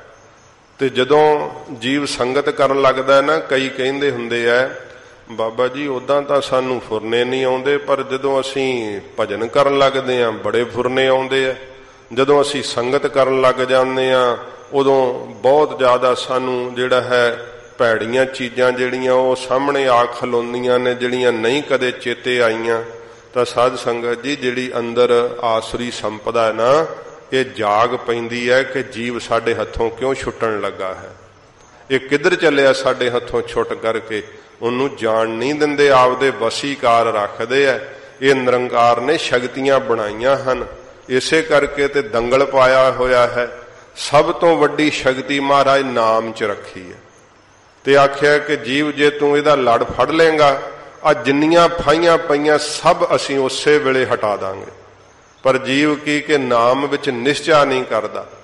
ਫੁਰਨੇ ਐਡੇ ਦਰਿਆ ਵਾਂਗ ਵਗਦੇ ਐ। ਸਾਧ ਸੰਗਤ ਜੀ, ਇਹ ਕਹਿਣਾ ਬੜਾ ਸੌਖਾ ਹੈ ਪਰ ਫੁਰਨੇ ਰੋਕਣੇ ਬੜੇ ਔਖੇ ਐ। ਸਤਿਗੁਰੂ ਦੇ ਸ਼ਬਦ ਨਾਲ ਹੀ ਜੁੜਿਆ ਫੁਰਨੇ ਰੁਕਦੇ ਐ। ਬੜੀ ਕਮਾਈ ਕਰਦੇ ਐ ਸਾਧਕ। ਬੜੇ ਤਰਲੇ ਲੈਂਦੇ ਆ ਮਹਾਰਾਜ ਦੇ ਅੱਗੇ। ਰਾਤ ਨੂੰ ਉੱਠ ਉੱਠ ਕੇ ਕਮਾਈਆਂ ਕਰਦੇ ਐ। ਇਹ ਸਾਧ ਸੰਗਤ ਜੀ ਹਜੂਰ ਨੇ ਭਾਵੇਂ ਆਪ ਨਿਰੰਕਾਰ ਸਰੂਪ ਸਤਿਗੁਰਾਂ, ਫਿਰ ਵੀ ਜੁਗਤ ਦੱਸੀ। ਇਹ ਸੱਚੇ ਪਾਤਸ਼ਾਹ ਜੀ ਮਹਾਰਾਜ ਨੇ ਜੁਗਤ ਕੀ ਦੱਸੀ? ਗੁਰਦੁਆਰਾ ਰੋੜੀ ਸਾਹਿਬ ਮਹਾਰਾਜ ਦੀ ਪਵਿੱਤਰ ਯਾਦਗਾਰ ਹੈ, ਗੁਰੂ ਨਾਨਕ ਸਾਹਿਬ ਜੀ ਮਹਾਰਾਜ ਜੀ ਦੀ। ਤੇ ਭਾਈ ਗੁਰਦਾਸ ਸਾਹਿਬ ਨੇ ਕਿਹਾ, ਰੋੜਾਂ ਕੀ ਗੁਰ ਕਰੀ ਵਿਛਾਈ। ਮਹਾਰਾਜ ਸੱਚੇ ਪਾਤਸ਼ਾਹ ਜੀ ਨੂੰ ਉਹ ਤਪੱਸਿਆ ਕਰਨ ਦੀ ਲੋੜ ਨਹੀਂ। ਰੇਤ ਅਕ ਆਹਾਰ ਕਰ, ਉਥੋਂ ਇਹ ਸੰਕੇਤ ਦਿੱਤੇ ਹੈ ਕਿ ਭਾਈ ਸੰਜਮ ਦਾ ਭੋਜਨ ਛਕੋ, ਸਾਦਾ ਭੋਜਨ ਛਕੋ। ਤੇ ਫਿਰ ਮਹਾਰਾਜ ਸੱਚੇ ਪਾਤਸ਼ਾਹ ਜੀ ਦੀ ਬਾਬਤ ਕਿਹਾ ਕਿ ਭਾਰੀ ਕਰੀ ਤਪੱਸਿਆ, ਵੱਡਾ ਭਾਗ ਹਰ ਸਿਉ ਬਣ ਆਈ। ਇਹ ਸਤਿਗੁਰਾਂ ਜੀ ਨੇ ਜਿਹੜੀ ਉਥੇ ਆਪ ਬੰਦਗੀ ਕਰਕੇ ਦਿਖਾਈ ਨਾ, ਇਹ ਹਜੂਰ ਨੇ ਦੱਸਿਆ ਸਾਨੂੰ ਰਾਹ, ਨਹੀਂ ਤੇ ਨਿਰੰਕਾਰ ਨੇ ਆਪਣੀ ਬੰਦਗੀ ਆਪ ਕੀ ਕਰਨੀ ਹੈ? ਗੁਰੂ ਨਾਨਕ ਸਾਹਿਬ ਤਾਂ ਨਿਰੰਕਾਰ ਨੇ, ਪਰ ਫਿਰ ਵੀ ਜਾਚ ਸਿਖਾਈ ਆਪਣੇ ਨਿਜ ਸਰੂਪ ਵਿੱਚ ਟਿਕੇ। ਸਤਿਗੁਰੂ ਜੀ ਆਖਿਆ ਕਿ ਭਾਈ ਜਿਹੜਾ ਸਾਡੇ ਇਸ ਮਾਰਗ ਤੇ ਚੱਲੇਗਾ, ਗਰੀਬ ਨਵਾਜ ਕਹਿੰਦੇ ਬ੍ਰਹਮ ਤੱਕ ਪਹੁੰਚ ਜਾਵੇਗਾ। ਤੇ ਜਿਹੜਾ ਗੁਰੂ ਸਾਹਿਬ ਜੀ ਦੀ ਆਗਿਆ ਨਹੀਂ ਮੰਨਦਾ, ਕਹਿੰਦਾ ਲੈ ਮੈਨੂੰ ਫੁਰਨੇ ਹੀ ਆਈ ਜਾਂਦੇ ਆ, ਹੁਣ ਮੈਂ ਕਿਉਂ ਭਜਨ ਕਰਾਂ? ਮੈਨੂੰ ਬੁਰੀਆਂ ਚੀਜ਼ਾਂ ਸਤਾਈ ਜਾਂਦੀਆਂ, ਮੈਂ ਸੰਗਤ ਕਾਹਨੂੰ ਕਰਾਂ? ਉਹ ਲੜਾਈ ਛਿੜ ਪੈਂਦੀ ਹੈ, ਫਿਰ ਜੋਦਾ ਉਹ ਥੋੜਾ ਜਿਹੜਾ ਪਿੱਛੇ ਹਟ ਜੇ। ਮਹਾਰਾਜ ਸੱਚੇ ਪਾਤਸ਼ਾਹ ਨੇ ਕਿਹਾ, ਨਾ ਹੀ ਦੇਖ, ਨਾ ਭਾਜੀ ਐ ਪਰਮ ਸਿਆਣਪ ਇਹ ਵੀ ਨਹੀਂ ਗੱਲ ਬਣਦੀ ਤੇ ਭੱਜਣਾ ਥੋੜਾ ਮੈਦਾਨ ਛੱਡ ਕੇ। ਉਥੇ ਫਿਰ ਮਹਾਰਾਜ ਨੇ ਕਿਹਾ ਕਿ ਭਾਈ ਵਕਤ ਹੈ ਉੱਪਰ ਲੜ ਮੂਏ। ਇਹ ਵਕਤ ਵਾ, ਮਨੁੱਖਾ ਜਨਮ ਹੁਣ ਤਾਂ ਲੜ ਮਾਰੇ ਇੱਥੇ। ਹੁਣ ਇਹ ਵਾਰੀ ਦਿੱਤੀ ਹੈ ਤੈਨੂੰ ਪਰਮੇਸ਼ਰ ਨੇ, ਹੁਣ ਤਾਂ ਜੂਝ ਮਾਰ। ਇਹ ਉਹਨਾਂ ਸ਼ਬਦਾਂ ਨੂੰ ਹੀ ਲੈ ਕਰਕੇ ਸਾਧ ਸੰਗਤ ਜੀ ਅੰਤਰੀ ਭਾਵ ਵੀ ਬਾਣੀ ਦੇ ਅੰਦਰ ਇਹੀ ਕਿਹਾ ਹੈ ਕਿ ਸੂਰਾ ਸੋ ਪਹਿਚਾਨੀਆਂ ਜੋ ਲੜਾ ਦੀਨ ਕੇ ਹੇਤ, ਧਰਮ ਨੂੰ ਕਮਾਉਂਦਿਆਂ ਹੋਇਆ ਲੜ ਮਰੇ ਵਕਾਰਾਂ ਦੇ ਨਾਲ। ਤੇ ਫਿਰ ਉੱਥੇ ਪੁਰਜਾ ਪੁਰਜਾ ਕੱਟ ਮਰੇ, ਕਬੂ ਨਾ ਛਾੜਾ ਖੇਤ। ਕਬੀਰ ਸਾਹਿਬ ਨੇ ਉਸੇ ਦੀ ਬਾਬਤ ਹੀ ਕਿਹਾ ਕਿ ਗਗਨ ਦਮਾਮਾ ਬਾਜਿਓ, ਪਰਿਓ, ਨਿਸ਼ਾਨਾ ਘਾਓ, ਖੇਤ ਜੋ ਮੰਡਿਓ, ਸੂਰਮਾ ਅਬ ਜੂਜਨ ਕੋ ਦਾਓ। ਹੁਣ ਇਹ ਦਾ ਮਿਲਿਆ, ਵਾਰੀ ਮਿਲੀ ਹੈ। ਜੂਝ ਜਾਂ ਬਕਾਰਾਂ ਦੇ ਨਾਲ ਸੱਚੇ ਪਾਤਸ਼ਾਹ ਜੀ ਮਹਾਰਾਜ ਕਹਿੰਦੇ ਐ ਕਿ ਜਿਹੜਾ ਇਉਂ ਭਾਈ ਆਪਾ ਮਾਰਦਾ ਨਾ ਅੰਦਰੋਂ ਹੰਕਾਰ ਮਾਰਦਾ ਹੈ, ਜੀਵਤ ਭਾਵ ਤੋਂ ਮਰਦਾ ਹੈ ਉਹ ਆਪਣੇ ਸਾਧ ਸੰਗਤ ਜੀ ਮਨ ਗੁਰਮੰਤਰ ਜਿਹੜਾ ਹੈ ਨਾ, ਮਨ ਮੰਤਰ ਜਿਹੜਾ ਗੁਰੂ ਜੀ ਦਾ, ਉਹਦੇ ਤੋਂ ਮਨ ਸ਼੍ਰੋਮਣੀ ਬ੍ਰਹਮ ਨੂੰ ਫਿਰ ਜਾਣ ਲੈਂਦਾ, ਭੇਦ ਪਾ ਲੈਂਦਾ, ਭਾਵ ਬ੍ਰਹਮ ਵਿੱਚ ਅਭੇਦ ਹੋ ਜਾਂਦਾ ਹੈ। ਵਾਹਿਗੁਰੂ ਦੇ ਸਰੂਪ ਦੀ ਸਾਖਿਆਤਤਾ ਪਾ ਲੈਂਦਾ ਮਨ ਤੋਂ ਹੀ ਸਾਰੇ ਟੈਂਟੇ ਉਪਜਦੇ ਆ ਤੇ ਮਨ ਤੋਂ ਹੀ ਨਾਸ਼ ਹੁੰਦੇ ਆ। ਇਹ ਨਹੀਂ ਕਿ ਕੋਈ ਬਾਹਰੋਂ ਦਵਾਈ ਆਉਣੀ ਹੈ। ਜਿਵੇਂ ਕਹਿੰਦੇ ਆ ਨਾ, ਜਲ ਕਰ ਪੰਕ ਉਪਜ ਹੈ, ਜਲ ਕਰ ਪੰਕ ਵਿਨਾਸ਼। ਚਿੱਕੜ ਜਲ ਕਰਕੇ ਪੈਦਾ ਹੋ ਜਾਂਦਾ ਜਦੋਂ ਥੋੜਾ ਮੀਂਹ ਪਵੇ, ਜਦੋਂ ਜ਼ਿਆਦਾ ਮੀਂਹ ਪਵੇ, ਸਾਰਾ ਚਿੱਕੜ ਹੀ ਸਾਫ਼ ਕਰਕੇ ਵੀ ਪਾਣੀ ਲੈ ਜਾਂਦਾ ਹੈ। ਮਨ ਤੋਂ ਵਕਾਰ ਉਪਜਦੇ ਐ ਮਨ ਤੋਂ ਹੀ ਵਕਾਰ ਨਾਸ਼ ਹੁੰਦੇ ਆ ਜਦੋਂ ਗੁਰੂ ਜੀ ਦੇ ਉਪਦੇਸ਼ ਨਾਲ ਮਨ ਨੂੰ ਸੋਝੀ ਪੈਣ ਲੱਗ ਜਾਂਦੀ ਹੈ, ਮਨ ਤੋਂ ਹੀ ਉਪਜੇ ਵਕਾਰ ਸਾਰੇ ਵਿਨਾਸ਼ ਹੋਣ ਲੱਗ ਜਾਂਦੇ ਐ ਇਉਂ ਸਤਿਗੁਰੂ ਜੀ ਕਹਿੰਦੇ ਭਾਈ ਬੁਰੇ ਮਨ ਨੂੰ ਜਿਹੜਾ ਨਾ ਸੁਧ ਮਨ ਕਰਕੇ ਸ਼ਬਦ ਦੀ ਕਮਾਈ ਨਾਲ ਫਿਰ ਜਾਣ ਲਈਦਾ ਉਹਦਾ ਚਿਹਰਾ ਵੇਖ ਲਈਦਾ ਨਜ਼ਰ ਪਾਏ ਘਰ ਘਰ ਤੇ ਜਾਣਿਆ। ਜਦੋਂ ਨਜ਼ਰ ਪਈ ਸਤਿਗੁਰੂ ਜੀ ਦੀ ਮਿਹਰ ਦੀ ਨਿਗਾਹ ਪਈ ਫਿਰ। ਜਦੋਂ ਸਤਿਗੁਰੂ ਜੀ ਦੀ ਦ੍ਰਿਸ਼ਟੀ ਪਈ ਫਿਰ ਸਾਧ ਸੰਗਤ ਜੀ, ਘਰ ਘਰ ਤੇ ਜਾਣਿਆ ਸਤ ਸੰਗਤ ਰੂਪੀ ਘਰ ਮਿਲਿਆ। ਫਿਰ ਮਹਾਰਾਜ ਜੀ ਦੀ ਜਦੋਂ ਦ੍ਰਿਸ਼ਟੀ ਹੋਈ, ਇਹ ਸਤ ਸੰਗਤ ਘਰ ਦੀ ਨਿਆਈ ਹੈ, ਕਿਲੇ ਦੀ ਨਿਆਈ ਹੈ। ਇੱਥੇ ਸਾਧ ਸੰਗਤ ਜੀ ਦੁਸ਼ਮਣ ਚੋਟ ਨਹੀਂ ਮਾਰਦੇ। ਜਿਵੇਂ ਮਹਾਰਾਜ ਜੀ ਨੇ ਕਿਹਾ ਨਾ, ਤਾਂ ਭੈ ਬਮੁੰਚਤ ਸਾਧ ਸੰਗਤ। ਇਹ ਕਾਮ ਦਾ ਪੁੱਛਿਆ ਸੀ ਉਹਨਾਂ ਨੇ ਕਿ ਮਹਾਰਾਜ, ਇਹਦਾ ਡਰ ਨਾਸ਼ ਕਿੱਥੇ ਹੁੰਦਾ ਹੈ? ਹਜੂਰ ਨੇ ਕਿਹਾ, ਜਦੋਂ ਸਾਧ ਸੰਗਤ ਵਿੱਚ ਬਹਿ ਜਾਈਏ ਇਹ ਕਾਮ, ਉੱਥੇ ਤੇਰਾ ਡਰ ਨਾਸ਼ ਹੋ ਜਾਂਦਾ ਹੈ। ਉੱਥੇ ਤੇਰਾ ਭੈ ਖਤਮ ਹੋ ਜਾਂਦਾ ਹੈ। ਜੀਵ ਭਾਵੇਂ ਸਾਧ ਸੰਗਤ, ਜੀ ਵੇਖ ਲੋ ਕਿੰਨੇ ਫੁਰਨੇ ਦਿਨ ਵਿੱਚ ਕਰਦੇ ਐ, ਪਰ ਜਿਹੜੇ ਰੋਜ਼ ਸਤ ਸੰਗਤ ਕਰਦੇ, ਉਹਨਾਂ ਨੂੰ ਇੱਥੇ ਆ ਕੇ ਫਿਰ ਇਹੋ ਜਿਹਾ ਫੁਰਨਾ ਵਿਸਰ ਜਾਂਦਾ ਹੈ। ਮਹਾਰਾਜ ਜੀ ਦੇ ਚਰਨਾਂ ਵਿੱਚ ਜਦੋਂ ਇੱਥੋਂ ਤੁਰਨਾ ਹੈ, ਫਿਰ ਮਨ ਜਿਹੜਾ ਨਾ ਅੰਦਰ ਡਰ ਵਿਆਪਦਾ ਕਿਤੇ ਮੈਂ ਅੱਖਾਂ ਨਾਲ ਬੁਰਾ ਨਾ ਵੇਖਾਂ ਕਦੇ ਕੰਨਾਂ ਨਾਲ ਬੁਰਾ ਸੁਣਾ ਨਾ। ਇਹ ਸਾਧ ਸੰਗਤ ਜੀ ਇਹੋ ਜਿਹਾ ਸਤ ਸੰਗਤ ਰੂਪੀ ਘਰ ਵੈ ਜਿਹੜਾ ਸਤ ਸੰਗਤ ਰੂਪੀ ਘਰ ਚ ਆ ਜਾਂਦਾ ਨਾ ਫਿਰ ਉਹਨੂੰ ਸਰੂਪ ਰੂਪੀ ਘਰ ਦੀ ਦਾਤ ਪ੍ਰਾਪਤ ਹੋ ਜਾਂਦੀ ਹੈ। ਸਤ ਸੰਗਤ ਰੂਪੀ ਘਰ ਤੋਂ ਘਰ ਘਰ ਤੇ ਫਿਰ ਪੜਿਓ ਪੰਕਤੀ। ਨਜ਼ਰ ਪਾਏ ਘਰ ਘਰ ਤੇ ਜਾਣਿਆ। ਇਹ ਸਤ ਸੰਗਤ ਰੂਪੀ ਘਰ ਤੋਂ ਹੀ ਸਾਧ ਸੰਗਤ ਜੀ ਜਿਹੜਾ ਹੈ ਨਾ ਪਰਮੇਸ਼ਰ ਦਾ ਸਰੂਪ ਰੂਪੀ ਘਰ ਜਿਹੜਾ ਸੀ ਜਾਣ ਲਿਆ। ਸੰਗਤ ਚੋਂ ਹੀ ਪਤਾ ਲੱਗਦਾ ਹੈ ਕਿ ਪਰਮੇਸ਼ਰ ਦਾ ਸਰੂਪ ਕੀ ਹੈ ਉਥੇ ਤੱਕ ਕਿਵੇਂ ਪਹੁੰਚਣਾ ਹੈ। ਸਤ ਸੰਗਤ ਰੂਪੀ ਘਰ ਵਿੱਚ ਆਉਣੇ ਕਰਕੇ ਵਾਹਿਗੁਰੂ ਦੇ ਸਰੂਪ ਰੂਪੀ ਘਰ ਨੂੰ ਜਾਣ ਲਿਆ ਇਸੇ ਪ੍ਰਕਾਰ ਹੀ। ਨਜ਼ਰ ਪਾਏ ਘਰ ਘਰ ਤੇ ਜਾਣਿਆ। ਜਦੋਂ ਸਤਿਗੁਰੂ ਜੀ ਦੀ ਨਜ਼ਰ ਭਈ ਨਾ ਦ੍ਰਿਸ਼ਟੀ ਭਈ ਮਹਾਰਾਜ ਸਾਹਿਬ ਜੀ ਨੇ ਵੇਖਿਆ ਤੱਕਣ 'ਚ ਹੀ ਵੇਖ ਲੋ ਇੰਨੀ ਸ਼ਕਤੀ ਹੈ ਹਜੂਰ ਦੇ। ਜਦੋਂ ਮਹਾਰਾਜ ਅੰਦਰੋਂ ਦ੍ਰਿਸ਼ਟੀ ਨਾਲ ਤੱਕ ਦਿੰਦੇ ਆ, ਫਿਰ ਇਹ ਸਰੀਰ ਰੂਪੀ ਘਰ ਸਾਨੂੰ ਮਿਲਿਆ ਹੋਇਆ ਸਾਧ ਸੰਗਤ ਜੀ ਰਹਿਣ ਵਾਸਤੇ। ਇਹ ਸਰੀਰ ਰੂਪੀ ਘਰ 'ਚ ਹੀ ਤੁਰਿਆ ਪਦ ਰੂਪੀ ਘਰ ਜਾਣ ਲਿਆ ਫਿਰ। ਤੁਰਿਆ ਪਦ ਰੂਪੀ ਘਰ ਕੀ ਬ੍ਰਹਮ ਗਿਆਨ ਰੂਪੀ ਘਰ, ਜਿੱਥੇ ਕਾਲ ਵੀ ਚੋਟ ਨਹੀਂ ਮਾਰ ਸਕਦਾ। ਐਸਾ ਘਰ ਹੈ ਉਹ, ਜਿਹੜਾ ਮਹਾਰਾਜ ਨੇ ਕਿਹਾ ਕਿ ਨਾਨਕ ਬੱਧਾ ਘਰ ਤਾਂ ਜਿੱਥੇ ਮਿਰਤ ਨਾ ਜਨਮ ਜਰਾ। ਜਿੱਥੇ ਮੌਤ ਨਹੀਂ ਆਉਂਦੀ, ਜਰਾ ਬੁਢੇਪਾ ਨਹੀਂ ਆਉਂਦਾ, ਤੇ ਸਾਧ ਸੰਗਤ ਜੀ, ਕੋਈ ਬਿਮਾਰੀ ਨਹੀਂ ਪੈਂਦੀ, ਜਨਮ ਨਹੀਂ ਲੈਣਾ ਪੈਂਦਾ, ਇਹ ਜਿਹਾ ਮਹਾਰਾਜ ਜੀ ਨੇ ਅਚਲ ਘਰ ਬਨ ਕੇ ਦਿੱਤਾ ਹੈ। ਉਹ ਜਿਹੜਾ ਹੈ ਨਾ ਤੁਰਿਆ ਪਦ ਰੂਪੀ ਘਰ, ਸਰੀਰ ਰੂਪੀ ਘਰ ਤੋਂ ਹੀ ਸਾਧ ਸੰਗਤ ਜੀ ਜਾਣ ਲਈਦਾ ਹੋਰ ਕਿਸੇ ਜੂਨ ਤੋਂ ਕੀ ਜਾਣਨਾ ਫਿਰ? ਹੋਰ ਨਾ ਜੂਨੀਆਂ ਵਿੱਚ ਨਹੀਂ ਜਾਣਿਆ ਜਾਂਦਾ। ਇਹ ਸਰੀਰ ਰੂਪੀ ਘਰ ਦਿੱਤਾ ਹੈ ਵਾਹਿਗੁਰੂ ਨੇ। ਇਸ ਕਰਕੇ ਸਤਿਗੁਰੂ ਜੀ ਕਹਿੰਦੇ, ਭਾਈ, ਇਹ ਸ੍ਰੀ ਰੂਪੀ ਘਰ ਤੋਂ ਹੀ ਜਾਣਿਆ ਜਾਂਦਾ ਹੈ ਤੇ ਜਦੋਂ ਮਹਾਰਾਜ ਦੀ ਨਿਗਾਹ ਹੋ ਜੇ, ਸਤਿਗੁਰੂ ਆਪ ਦੀ ਕਿਰਪਾ ਦ੍ਰਿਸ਼ਟੀ ਪਾ ਦੇਣ, ਮਹਾਰਾਜ ਦੀ ਨਜ਼ਰ ਵਿੱਚ ਇੰਨੀ ਸ਼ਕਤੀ ਹੈ ਕਿ ਸਾਧ ਸੰਗਤ ਜੀ, ਲੋਹੋ ਹੋਇਓ ਲਾਲ, ਨਦਰ ਸਤਿਗੁਰ ਜਦ ਧਾਰੈ ਜਦੋਂ ਸਤਿਗੁਰੂ ਜੀ ਆਪਣੀ ਨਦਰ ਕਰਦੇ ਆ ਦ੍ਰਿਸ਼ਟੀ ਪਾਉਂਦੇ ਆ ਫਿਰ ਜਿਹੜਾ ਸੜਿਆ ਹੋਇਆ ਲੋਹਾ ਹੈ ਨਾ, ਉਹ ਵੀ ਸਾਧ ਸੰਗਤ ਜੀ ਬੇਸ਼ਕੀਮ ਤੇ ਲਾਲ ਵਾਂਗੂ ਬੜੇ ਮੁੱਲ ਵਾਲਾ ਬਣ ਜਾਂਦਾ ਹੈ। ਜਿਹੜੇ ਪਾਪੀ ਵਕਾਰੀ ਮਨ ਮੈਂ ਨਾ ਇਹ ਵੀ ਸਾਧ ਸੰਗਤ ਜੀ ਬ੍ਰਹਮ ਗਿਆਨ ਨੂੰ ਪਾ ਕਰਕੇ ਬ੍ਰਹਮਾ ਆਨੰਦ ਦੇ ਰਸ ਨੂੰ ਪਾ ਕਰਕੇ ਨਿਹਾਲ ਹੋ ਜਾਂਦੇ ਆ। ਜਤ ਸਾਤ ਤੀਰਥ ਮਜਨ ਨਾਮ। ਸੱਚੇ ਪਾਤਸ਼ਾਹ ਜੀ ਮਹਾਰਾਜ ਹੁਣ ਫਰਮਾਉਂਦੇ ਐ ਕਿ ਭਾਈ ਜਿਹੜਾ ਜਤ ਰੱਖਣਾ ਹੈ ਫਿਰ ਸਤ ਰੱਖਣਾ ਹੈ ਸਾਧ ਸੰਗਤ ਜੀ ਇਸ ਪ੍ਰਕਾਰ ਜਿਹੜਾ ਹੈ ਜਤ ਮਰਦ ਦਾ ਹੁੰਦਾ ਹੈ ਸਤ ਇਸਤਰੀ ਦਾ ਹੁੰਦਾ ਹੈ ਤੇ ਇਹ ਇਕੱਠਾ ਕਹਿ ਦਈਦਾ ਜਤ ਸਤ ਦੋਵਾਂ ਲਈ ਹੁੰਦਾ ਹੈ ਤੇ ਇੰਦਰੀਆਂ ਦਾ ਸਾਧ ਸੰਗਤ ਜੀ ਜਿਹੜਾ ਹੈ ਫਿਰ ਪੜੋ। ਜਤ ਸਾਤ ਤੀਰਥ ਮਜਨ ਨਾਮ। ਫਿਰ ਤੀਰਥਾਂ ਤੇ ਸਾਧ ਸੰਗਤ ਜੀ ਜਿਹੜਾ ਹੈ ਮੱਜਨ ਇਸ਼ਨਾਨ ਕਰਨਾ। ਸਤਿਗੁਰੂ ਪਾਤਸ਼ਾਹ ਜੀ ਮਹਾਰਾਜ ਕਹਿੰਦੇ ਜਿਹੜਾ ਨਾਮ ਦਾ ਜਪਣਾ ਨਾ ਇਹੀ ਸਤਿਗੁਰੂ ਜੀ ਕਹਿੰਦੇ ਭਾਈ ਜਤਵੈ ਨਾਮ ਦਾ ਜਪਣਾ ਹੀ ਸਤਵੈ ਤੇ ਨਾਮ ਦੇ ਜਪਣਾ ਹੀ ਮਹਾਰਾਜ ਕਹਿੰਦੇ ਤੀਰਥਾਂ ਦਾ ਇਸ਼ਨਾਨ ਹੈ ਫਿਰ ਪੰਕਤੀ ਪੜੋ ਜਤ ਸਾਤ ਤੀਰਥ ਮਜਨ ਨਾਮ। ਜਿਹੜਾ ਮਹਾਰਾਜ ਕਹਿੰਦੇ ਮੱਜਨ ਇਸ਼ਨਾਨ ਕਰਨਾ ਹੈ ਨਾ ਨਾਮ ਜਲ ਨਾਲ ਉਹ ਸਮਝ ਲਓ ਕਿ ਸਾਰੇ ਤੀਰਥਾਂ ਦਾ ਹੀ ਇਸ਼ਨਾਨ ਕਰ ਲਿਆ। ਸਾਰਾ ਹੀ ਜਤ ਕਮਾ ਲਿਆ ਸਭ ਸਤ ਕਮਾ ਲਿਆ। ਇਹ ਸਾਧ ਸੰਗਤ ਜੀ ਸਾਧਨ ਹੁੰਦੇ ਆ ਜਤ ਇੰਦਰੀਆਂ ਦਾ ਦਮਨ ਕਰਕੇ ਰੱਖਣਾ। ਤੇ ਸਤ ਜਿਹੜਾ ਹੈ, ਸਤ ਪ੍ਰਤੱਗੀ ਹੋਣਾ। ਮਹਾਰਾਜ ਕਹਿੰਦੇ, ਭਾਈ, ਜੇ ਨਾਮ ਨਹੀਂ ਜਪਿਆ, ਤੇ ਸਤ ਪ੍ਰਤੱਗੀ ਕਿਵੇਂ ਹੋ ਸਕਦਾ ਹੈ?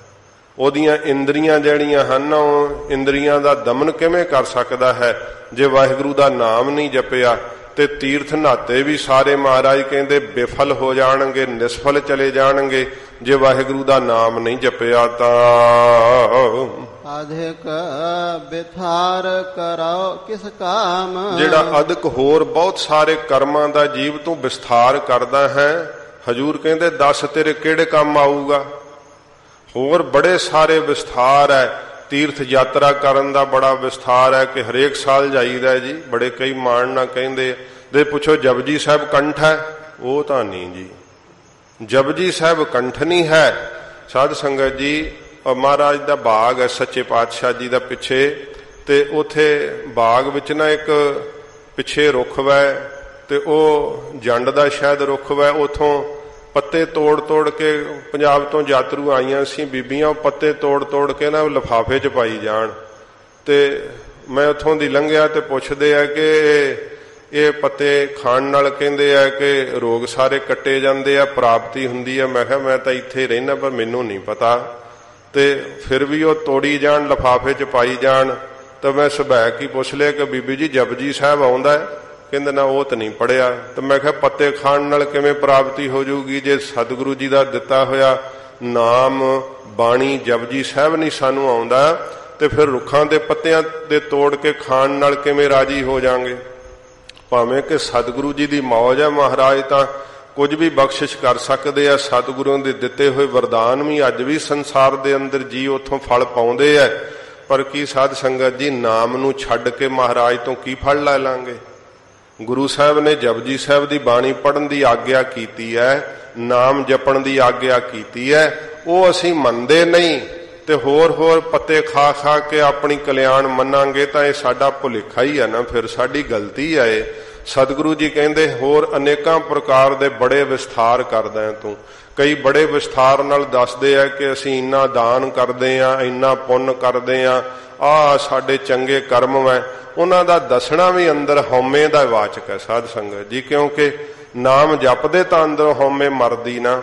ਇਹ ਬਹੁਤ ਸਾਰਾ ਵਿਸਥਾਰ ਜਿਹੜਾ ਸਤਿਗੁਰੂ ਜੀ ਕਹਿੰਦੇ, ਤੂੰ ਭਾਵੇਂ ਚੰਗੇ ਕਰਮਾਂ ਦਾ ਵੀ ਕਰ ਰਿਹਾ ਹੈ, ਪਰ ਜੇ ਭਜਨ ਹੀ ਨਹੀਂ ਕਰਦਾ, ਤੇ ਦੱਸ ਉਹ ਤੇਰਾ ਕੀਤਾ ਹੋਇਆ ਵਿਸਥਾਰ ਕਿਸ ਕੰਮ ਆਵੇਗਾ?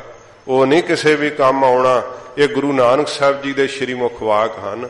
ਸਤਿਗੁਰੂ ਜੀ ਦੇ ਆਪਣੇ ਕਹੇ ਹੋਏ ਬਚਨ ਨੇ ਤੇ ਭਾਈ ਭਰੋਸਾ ਹੀ ਕਰਨਾ ਚਾਹੀਦਾ ਨਾ।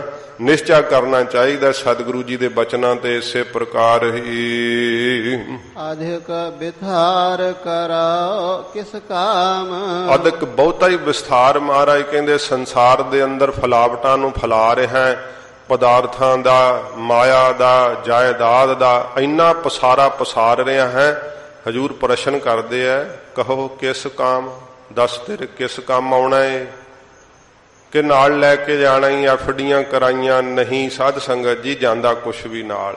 ਭਾਵੇਂ ਕਿ ਸੰਸਾਰ ਵਿੱਚ ਰਹਿੰਦੇ ਆ ਗ੍ਰਸਤੀ ਨੂੰ ਲੋੜ ਹੈ ਸਾਰੇ ਧਰਮ ਪਾਲਣੇ ਪੈਂਦੇ ਆ, ਪਰ ਮਹਾਰਾਜ ਕਹਿੰਦੇ ਇਹਨੂੰ ਮਨ 'ਚ ਕਿਉਂ ਚੰਬੇੜੀ ਬੈਠਾ ਸਰੀਰ ਕਰਕੇ ਰੱਖ ਸਭ ਕੁਝ ਭਾਵੇਂ, ਸਰੀਰ ਕਰਕੇ ਵਰਤ ਪਰ ਤੇਰੇ ਮਨ ਨੂੰ ਕਿਉਂ ਰੋਗ ਲਾ ਰਹੇ ਆ? ਜੇ ਤੇਰੇ ਮਨ ਨੂੰ ਰੋਗ ਲਾ ਰਹੇ ਆ ਨਾ ਇਹ ਸਾਰੀ ਫਲਾਵਟ ਜਿੰਨੀ ਤੂੰ ਕਰ ਰਿਹਾ ਨਾ ਬਹੁਤਾ ਵਿਸਥਾਰ ਕਰ ਰਿਹਾ ਅਧਿਕ ਬਹੁਤਾ ਜ਼ਿਆਦਾ ਇਹ ਹਜੂਰ ਕਹਿੰਦੇ ਦੱਸ ਭਈ ਤੇਰੇ ਕਿਸ ਕੰਮ ਆਵੇਗਾ ਜਦੋਂ ਸੰਸਾਰ ਨੂੰ ਛੱਡੇਗਾ? ਨਾਮ ਤੂੰ ਜਪਿਆ ਨਹੀਂ।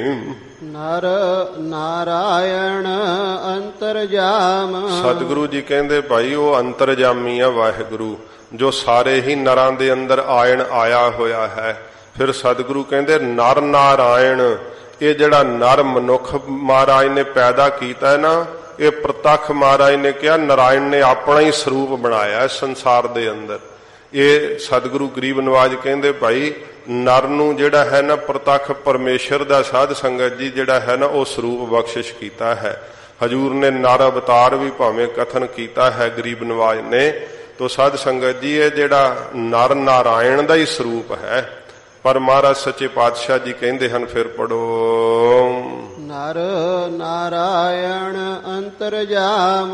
ਅੰਤਰਜਾਮੀ ਜਾਣ ਤੂੰ ਉਸ ਨੂੰ ਤੇਰੇ ਦਿਲ ਦੀ ਵਿਥਿਆ ਜਿਹੜੀ ਆ ਉਹ ਸਮਝਦਾ ਹੈ ਬੁੱਝਦਾ ਹੈ। ਸਤਿਗੁਰੂ ਜੀ ਕਹਿੰਦੇ ਭਾਈ ਔਰ ਸਾਰੇ ਨਰਾਂ ਦੇ ਅੰਦਰ ਆਇਣ ਆਇਆ ਹੋਇਆ ਪਰਮੇਸ਼ਰ ਵਾਹਿਗੁਰੂ ਸਭ ਦੇ ਹਿਰਦੇ ਦੀ ਜਾਣਨ ਵਾਲਾ ਏ। ਆਨ ਮਨੋ ਤਾ ਪਰ ਘਰ ਜਾਓ। ਸਤਿਗੁਰੂ ਜੀ ਕਹਿੰਦੇ ਆਨ ਮੰਨੋ ਜੇ ਤੂੰ ਹੋਰ ਕਿਸੇ ਉਪਦੇਸ਼ ਨੂੰ ਮੰਨੇਗਾ ਨਾ, ਜਾਂ ਹੋਰ ਕਿਸੇ ਦੀ ਮਨੌਤ ਕਰੇਗਾ ਪਰਮੇਸ਼ਰ ਨੂੰ ਛੱਡ ਕਰਕੇ, ਤੇ ਸਤਿਗੁਰੂ ਜੀ ਕਹਿੰਦੇ, ਪਰਾਏ ਘਰਾਂ 'ਚ ਜਾਣ ਵਾਸਤੇ ਕੀ ਹੈ ਕਿ ਫਿਰ ਠੋਕਰਾਂ ਹੀ ਖਾਂਦਾ ਫਿਰੇਗਾ।